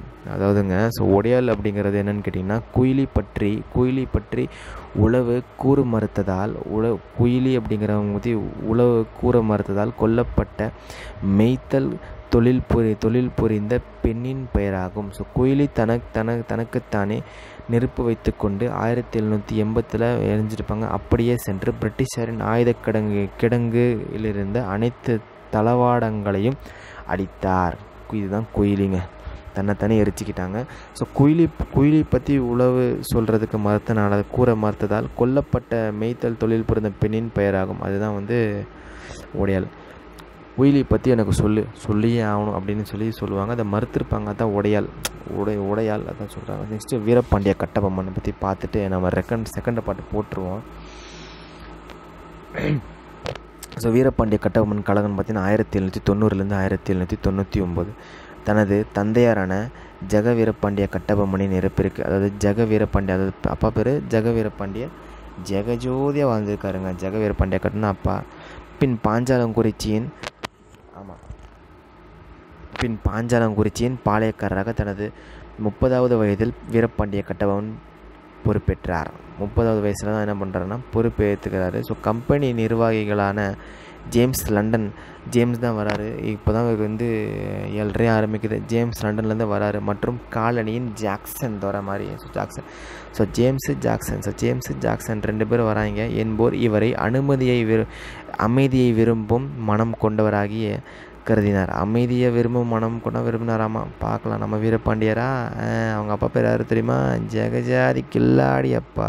ஸோ ஜேம்ஸ் லண்டன் மட்டும் ஜேம்ஸ் லண்டன் ஆகட்டும் மற்றும் காலின் மற்றும் Colin Jackson James Jackson James London Jackson James Johns James Jackson அவன் தான் ஆமாம் மனம் கொண்டவராக. ஆமாம் இவரை அணு இவரை அமைதியை விரும்பும் அமைதியை விரும்புவாராமா நம்ம ஆளை பற்றி தெரில இன்னும். ஏனினும் தொடர்ந்து நடந்த சம்பவங்கள் கட்டபொம்மனுக்கு கிழக்கிந்திய கம்பெனிக்கும் மோதல் போக்கை ஏற்படுத்தின. நம்ம அமைதியான நினச்சா இவர் இவ்வளோ ரவடி பண்ணுறாரு ஆயிரத்தி எழுநூற்றி எண்பத்தி ஒன்றில் ஆயிரத்தி எழுநூற்றி முப்பதில் தான் என்ன பண்ணுற முப்பது வயசு தான் பொறுப்பேற்றுக்கிறாரு. ஆயிரத்தி அவரோட வயசு பார்த்திங்கன்னா ஆயிரத்தி எழுநூற்றி தொண்ணூறுலேருந்து தொண்ணூற்றி ஒம்பது தான் ஃபஸ்ட்டு பார்த்தீங்கன்னா ஆயிரத்தி எழுநூற்றி ஐம்பத்தஞ்சிலேருந்து ஆயிரத்தி எழுநூற்றி அறுபத்தி ஏழு பார்த்தோம். ஆயிரத்தி எழுநூற்றி முப்பதுலேருந்து ஆயிரத்தி எழுநூற்றி தொண்ணூற்றி ஆறு பார்த்தோம். ஆயிரத்தி எழுநூற்றி தொண்ணூறுலேருந்து ஆயிரத்தி எழுநூற்றி தொண்ணூற்றி ஒம்பது வீரபாண்டி. இது வீரபாண்டி அவர்களே. வீரபாண்டிய கட்டபொம்மன். இது வீரபாண்டிய கட்டபொம்மன். இது பார்த்தீங்க அப்படின்னாக்கா நம்ம வேலுநாச்சியா இது பார்த்தீங்க அப்படின்னாக்கா நமக்கு வந்து புலித்தேவர். கொஞ்சம் கொஞ்சமாக பிரச்சனை இருக்குது கம்பெனி நிர்வாகிகளாக ஜேம்ஸ் லண்டன் அவங்களாம் வந்து அமைதியாக வந்திருக்காங்க அமைதியானவர்னு நினச்சாங்க. ஆனால் நிறைய பிரச்சனை ஏற்பட்டுச்சு. ஆயிரத்தி எழுநூற்றி எண்பத்தி ஒன்றில் கம்பெ கம்பெனியாருடன் நவாப் ஏற்படுத்தி கொண்ட உடன்படிக்கையின்படி ஆயிரத்தி எழுநூற்றி தொ எண்பத்தி ஒன்றில் கம்பெனியை ஒன்று ஒரு உடன்படிக்கை போட்டுக்குவார். மைசூரின் திப்பு சுல்தானிடம் ஆர்காட் நவாப் போர் புரிந்து கொண்டிருந்த போது அதாவது ஆயிரத்தி எழுநூற்றி எண்பத்தி ஒன்றில் கம்பெனியாருடன் நவாப் ஏற்படுத்தி கொண்ட உடன்படிக்கையின்படி மைசூரின் திப்பு சுல்தானுடன் மைசூரோட திப்பு சுல்தான் தான் டைகர் இல்லையா? ஆற்காடு நவாப் ஆற்காடு நவாப் போர் புரிந்த போர் புரிந்து கொண்டிருந்த போது கர்நாடக பகுதியில் வரி மேலாண்மையும் நிர்வாகமும் கம்பெனியின் முழு கட்டுப்பாட்டின் கீழ் செல்லும் நிலை ஏற்படுது அதாவது இங்கே இருக்கிற நமக்கு ஹெல்ப் பண்ணுறாங்கன்னா பண்ணுறாங்க அங்கே போயிட்டாங்க. நம்ம அப்படின்னா அங்கே நமக்கு ஹெல்ப் பண்ணுறோம் அப்படின்னா அங்கே போயிட்டனால நம்ம என்ன பண்ண முடியாது? எதுவும் பண்ண முடியாத. நிலமையில நம்ம இருக்கோம். அதெல்லாம் என்ன பண்ணுறாங்கன்னா எல்லாமே க நிர்வாக அட்மினிஸ்ட்ரேஷன் நிர்வாக முறையெல்லாம் கம்பெனி கீழே போயிடுது வசூலிக்கப்பட்ட வரியில் வசூலிக்கப்பட்ட வரியில் ஆறில் ஒரு பங்கு நவாபிற்கு அவர் குடும்ப பராம பராமரிப்பிற்கு ஒதுக்கப்பட்டது. வசூலிக்கிற வரியில் ஆறில் ஆறில் ஒரு பங்குப்பா. ஆறில் ஒரு பங்கு நவாப் இருக்கும். அவரோட குடும்பத்திற்கு என்ன பண்ணுறாங்க நவாபுக்கு ஒரு குடும்பத்திற்கு கஷ்டப்பட்டு உழைக்கிறது சாவது இவங்க. ஆனால் அவங்களுக்கு ஒரு பங்கு தான் அப்படிங்கிற மாதிரி நெக்ஸ்ட் இவ்வாறு பாஞ்சலக்குறிச்சி அதாவது இவ்வாறு பாஞ்சலக்குறிச்சியிடமிருந்து வரி வசூலிக்கும் உரிமையை கம்பெனி பெற்றது. ஏதோ ஒரு பிரச்சனை ஏதாவது இவங்க ஏதோ பிரச்சனை சைடு கேப்பில் சிங்கிள் கே இந்த சைக்கிள் கேப்பில் பூந்துட்டாங்கன்னு சொல்கிறாங்க அந்த மாதிரி தான். அனைத்து பாளைய அனைத்து பாளையங்களிடமிருந்து வரிகளை வசூலிக்க கம்பெனி அதன் ஆட்சியாளர்களை நியமித்தது. வேலையை ஆரம்பிச்சிட்டாங்க பார்த்தீங்களா ஆட்சியாளர்கள் பாளையக்காரர்களை அவமானப்படுத்தியதோடு வரிகளை வசூலிக்க படையினை பயன்படுத்தினார். இதுவே கட்டபொம்மனுக்கு ஆங்கிலேயருக்கும் இடையே பெரும் பகையை ஏற்படுத்த ஏற்பட அடிமையானது அப்படின்னு சொல்கிறாங்க ஓகேங்களா? ஸோ அடிப்படையானது அப்படின்னு சொல்கிறாங்க ஸோ ஜாக்சனோடு ஏற்பட்ட முதல் பார்த்துருவோம். பார்த்துருவோம் பார்த்து டக்குன்னு முடிச்சோன்னா ஒரு ஒரு விஷயம் ஒரு பாட்டு முடிஞ்சிடட்டும் வேற ஒன்றும் இல்லை. ஸோ கட்டபொம்மனிடமிருந்து வசூலிக்க வேண்டிய நிலவரி நிலுவையானது ஆயிரத்தி எழுநூற்றி தொண்ணூற்றி அதாவது கட்டபொம்மன் எல்லாரும் கட்டிகிட்டு இருக்கேன். ஆனால் கட்டபொம்மன் மட்டும் வரி கட்ட மாட்டோம்ப்பா அப்படிங்கிற ஆயிரத்தி எழுநூற்றி தொண்ணூற்றெட்டாம் ஆண்டு வாக்கில் அந்த வாக்கில் முன்னூ மூவாயிரத்தி முந்நூற்றி பத்து பக்கோ பகோடாக்களாக இருந்தது. அப்போ வந்து முந்நூற்றி மூ சரி மூவாயிரத்தி முந்நூற்றி மூவாயிரத்தி மூவாயிரத்தி ஆயிரத்தி எழுநூற்றி தொண்ணூற்றி எட்டில் மூவாயிரத்தி முந்நூற்றி பத்து பக்கோடாக்களாக இருந்துச்சாமா? இவற்றை இவற்றை வசு அதாவது பாக்கி மூவாயிரத்தி முந்நூற்றி பத்து ரூபா கொடுக்கணும். பக்கோடாக்களாக கொடுக்கணும். இவற்றை வசூலிப்பதற்காக ஜாக்சன் ஜாக்சன் ஜென் ஜேம்ஸ் ரெண்டு பேரும் வந்து நியமிச்சிருப்பாங்க. அதில் ஒருத்தர் ஜாக்சன் என்ற கர்வமுள்ள ஆட்சியர் இராணுவத்தை அனுப்ப முனைந்த போது மதராஸ் அரசாங்கம் அதற்கு அனுமதி அளிக்க மறுத்தது. மதராஸ் அரசாங்கம் அது அது வந்து நல்ல ஒரு விஷயம் பண்ணியிருக்காங்க மதராஸ் அரசாங்கம் அந்த காலத்தில் ஆயிரத்தி எழுநூற்றி தொண்ணூத்தெட்டு ஆயிரத்தி எழுநூற்றி தொண்ணூத்தெட்டு அதே வருஷம் ஆகஸ்ட்டு ஆயிர ஆகஸ்ட்டு பதினெட்டில் வந்து ராமநாதபுரத்தில் வந்து ராமநாதபுரத்தில் வந்து தன்னை சந்திக்குமாறு கட்டபொம்மனுக்கு அவர் ஆணை பிறப்பித்தார். ஆணை பிறப்பிக்கிறாங்க. அதஞ்சு தான் மெட்ராஸ் அரசாங்கமே சொல்லிருச்சு உன்னை ஒன்றும் பண்ணக்கூடாதுன்னு சொல்லி நீ ஏன் பயப்படுற? என்னை வந்து பாருன்னு சொல்கிறாங்க ஆனால் கட்டபொம்மன் மேற்கொண்ட முயற்சி பலனை பலன் அளிக்காததோடு குற்றாலம் மற்றும் ஸ்ரீவல்லிபுத்தூர் ஆகிய இடங்களில் ஜாக்சன் அவரை சந்திக்க மறுத்தார். என்ன சொல்கிறாருன்னா குற்றாலம் ஆகட்டும் இல்லை ஸ்ரீவில்லிபுத்தூர் ஆகட்டும் அங்கெல்லாம் நம்ம வர மாட்டேன்னு சொல்லி ஜாக்சன் மறுத்தனம் ஏன்னா அவர் இடத்துல தான் அவருக்கு சேஃபு அதனால தான் அப்போ தான் நம்ம கொல்ல முடியும். இறுதியாக ஆயிரத்தி எழுநூற்றி தொண்ணூத்தெட்டு தொண்ணூத்தெட்டில் மூணு வருஷம் நடக்குதுப்பா. தொண்ணூத்தெட்டில் நமக்கு என்ன நடக்குது? மூணு வருஷம் நடக்குது. நிலவரி கட்டில் அதான் நிலவரி கட்டில் மூவாயிரத்தி முந்நூற்றி புத்த வடை பக்கோடாக்கள் கொடுக்கணும். அது மட்டும் இல்லாமல் மெட்ராஸ் அசோசியேஷன் என்ன பண்ணணும்னா அவங்க வந்து அரெஸ்ட் பண்ணுறதுக்கு இல்லை வந்து வரி வசூலிக்கிறதுக்கு வேணாம் அப்படிங்கிற மாதிரி சொல்லுவோம் ரைட்டுங்களா அனுமதிக்காது. ஜாக்சன் அனுமதிக்காது. ஆயிரத்தி எழுநூற்றி ஆயிரத்தி எழுநூற்றி தொண்ணூத்தெட்டில் ஆகஸ்ட் பதினெட்டாம் தேதி. ராமநாதபுரம் வந்த ராமநாதபுரத்தை வந்து சந்திக்க சொல்லுவாங்க. ஆனால் இவர் வந்து ஸ்ரீவில்லிபுத்தூர் அங்கெல்லாம் வர சொல்லுவார். அதாவது முரண்பாடாக நடந்துக்குவார் ஸ்ரீவில்லிபுத்தூர். நீ நான் எதுக்கு அங்கே ராமநாதபுரத்துக்கு வரணும் நீ ஜாக்சன் நீ வந்து இங்கே இங்கே ஸ்ரீவில்லிபுத்தூருக்கும் குற்றாலத்துக்கு வந்துட்டு நம்ம குளிச்சுட்டு போயிடலாம் இறுதியாக ஆயிரத்தி தொள்ளாயிரத்தி தொண்ணூத்தெட்டு செப்டம்பர் தொண்ணூத்தெட்டு தான் செப்டம்பர் பத்தொன்பதாம் அன்று அனுமதியளிக்க அனுமதி எழுதியதன் பேரில் கட்டபொம்மன் ராமநாதபுரத்தில் ஜாக்சனை சந்தித்தார். ஆணவத்தின் ஆணவத்தின் மொத்த உருவமாக திகழ்ந்த ஜாக்சனின் முன்பு கட்டபொம்மன் மூன்று மணி நேரம் நிற்க வைக்கப்பட்டதாக சொல்லப்படுகிறது. ஆபத்தை உணர்ந்த கட்டபொம்மன் தனது அமைச்சரான சிவசுப்பிரமணியனுடன் தப்பிச் செல்ல முயன்றார். உடனடியாக ஊமத்துறை தனது ஆட்சிகளோடு கோட்டைக்குள் நுழைந்து கட்டபொம்மன் தப்ப உதவினார். ஊமதுறது என்னங்க? அவங்களோட ஆளுங்க.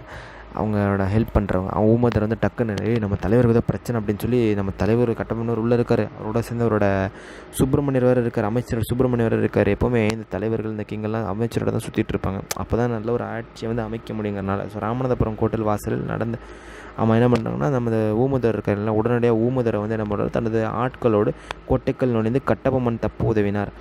அதுக்கப்புறம் ராமநாதபுரம் கோட்டை வாசலில் நடந்த மோதலில் ஸோ லெஃப்டினன்ட் கிளர்க் உள்ளிட்ட சிலர் கொல்லப்பட்டனர். லெஃப்டினன்ட் கிளர்க் என்ன பண்ணுறாங்க கொல்லப்படுறாங்க நம்ம பார்த்தோம். ஜேம்ஸ் வேறு ஜான்ஸ் வேறுன்னு சொல் ஜாக்சனு ஜேம்ஸ்னு சொல்கிறோம் அது லெஃப்டினன்ட் கிளர்க் என்ன பண்ணுறோம் நிறைய பேருக்கு இறந்துடுறாங்க. சிவ சிவசுப்பிரமணியர் கைது செய்யப்பட்டு சிறையில் அடைக்கப்பட்டார். அதாவது ஊமதரை தான் ஹெல்ப் பண்ணுறாரு ஸோ கொல்றது அவங்க. ஆனால் சிவசுப்பிரமணியர் நல்ல ஆள். அவரை கூப்பிட்டு போயிட்டாங்க. ஓகேங்களா? ஸோ இதுவே ஃபஸ்ட்டு பாட்டுங்க ரெண்டாவது பாட்டை வந்து மீறி பார்ப்போம்.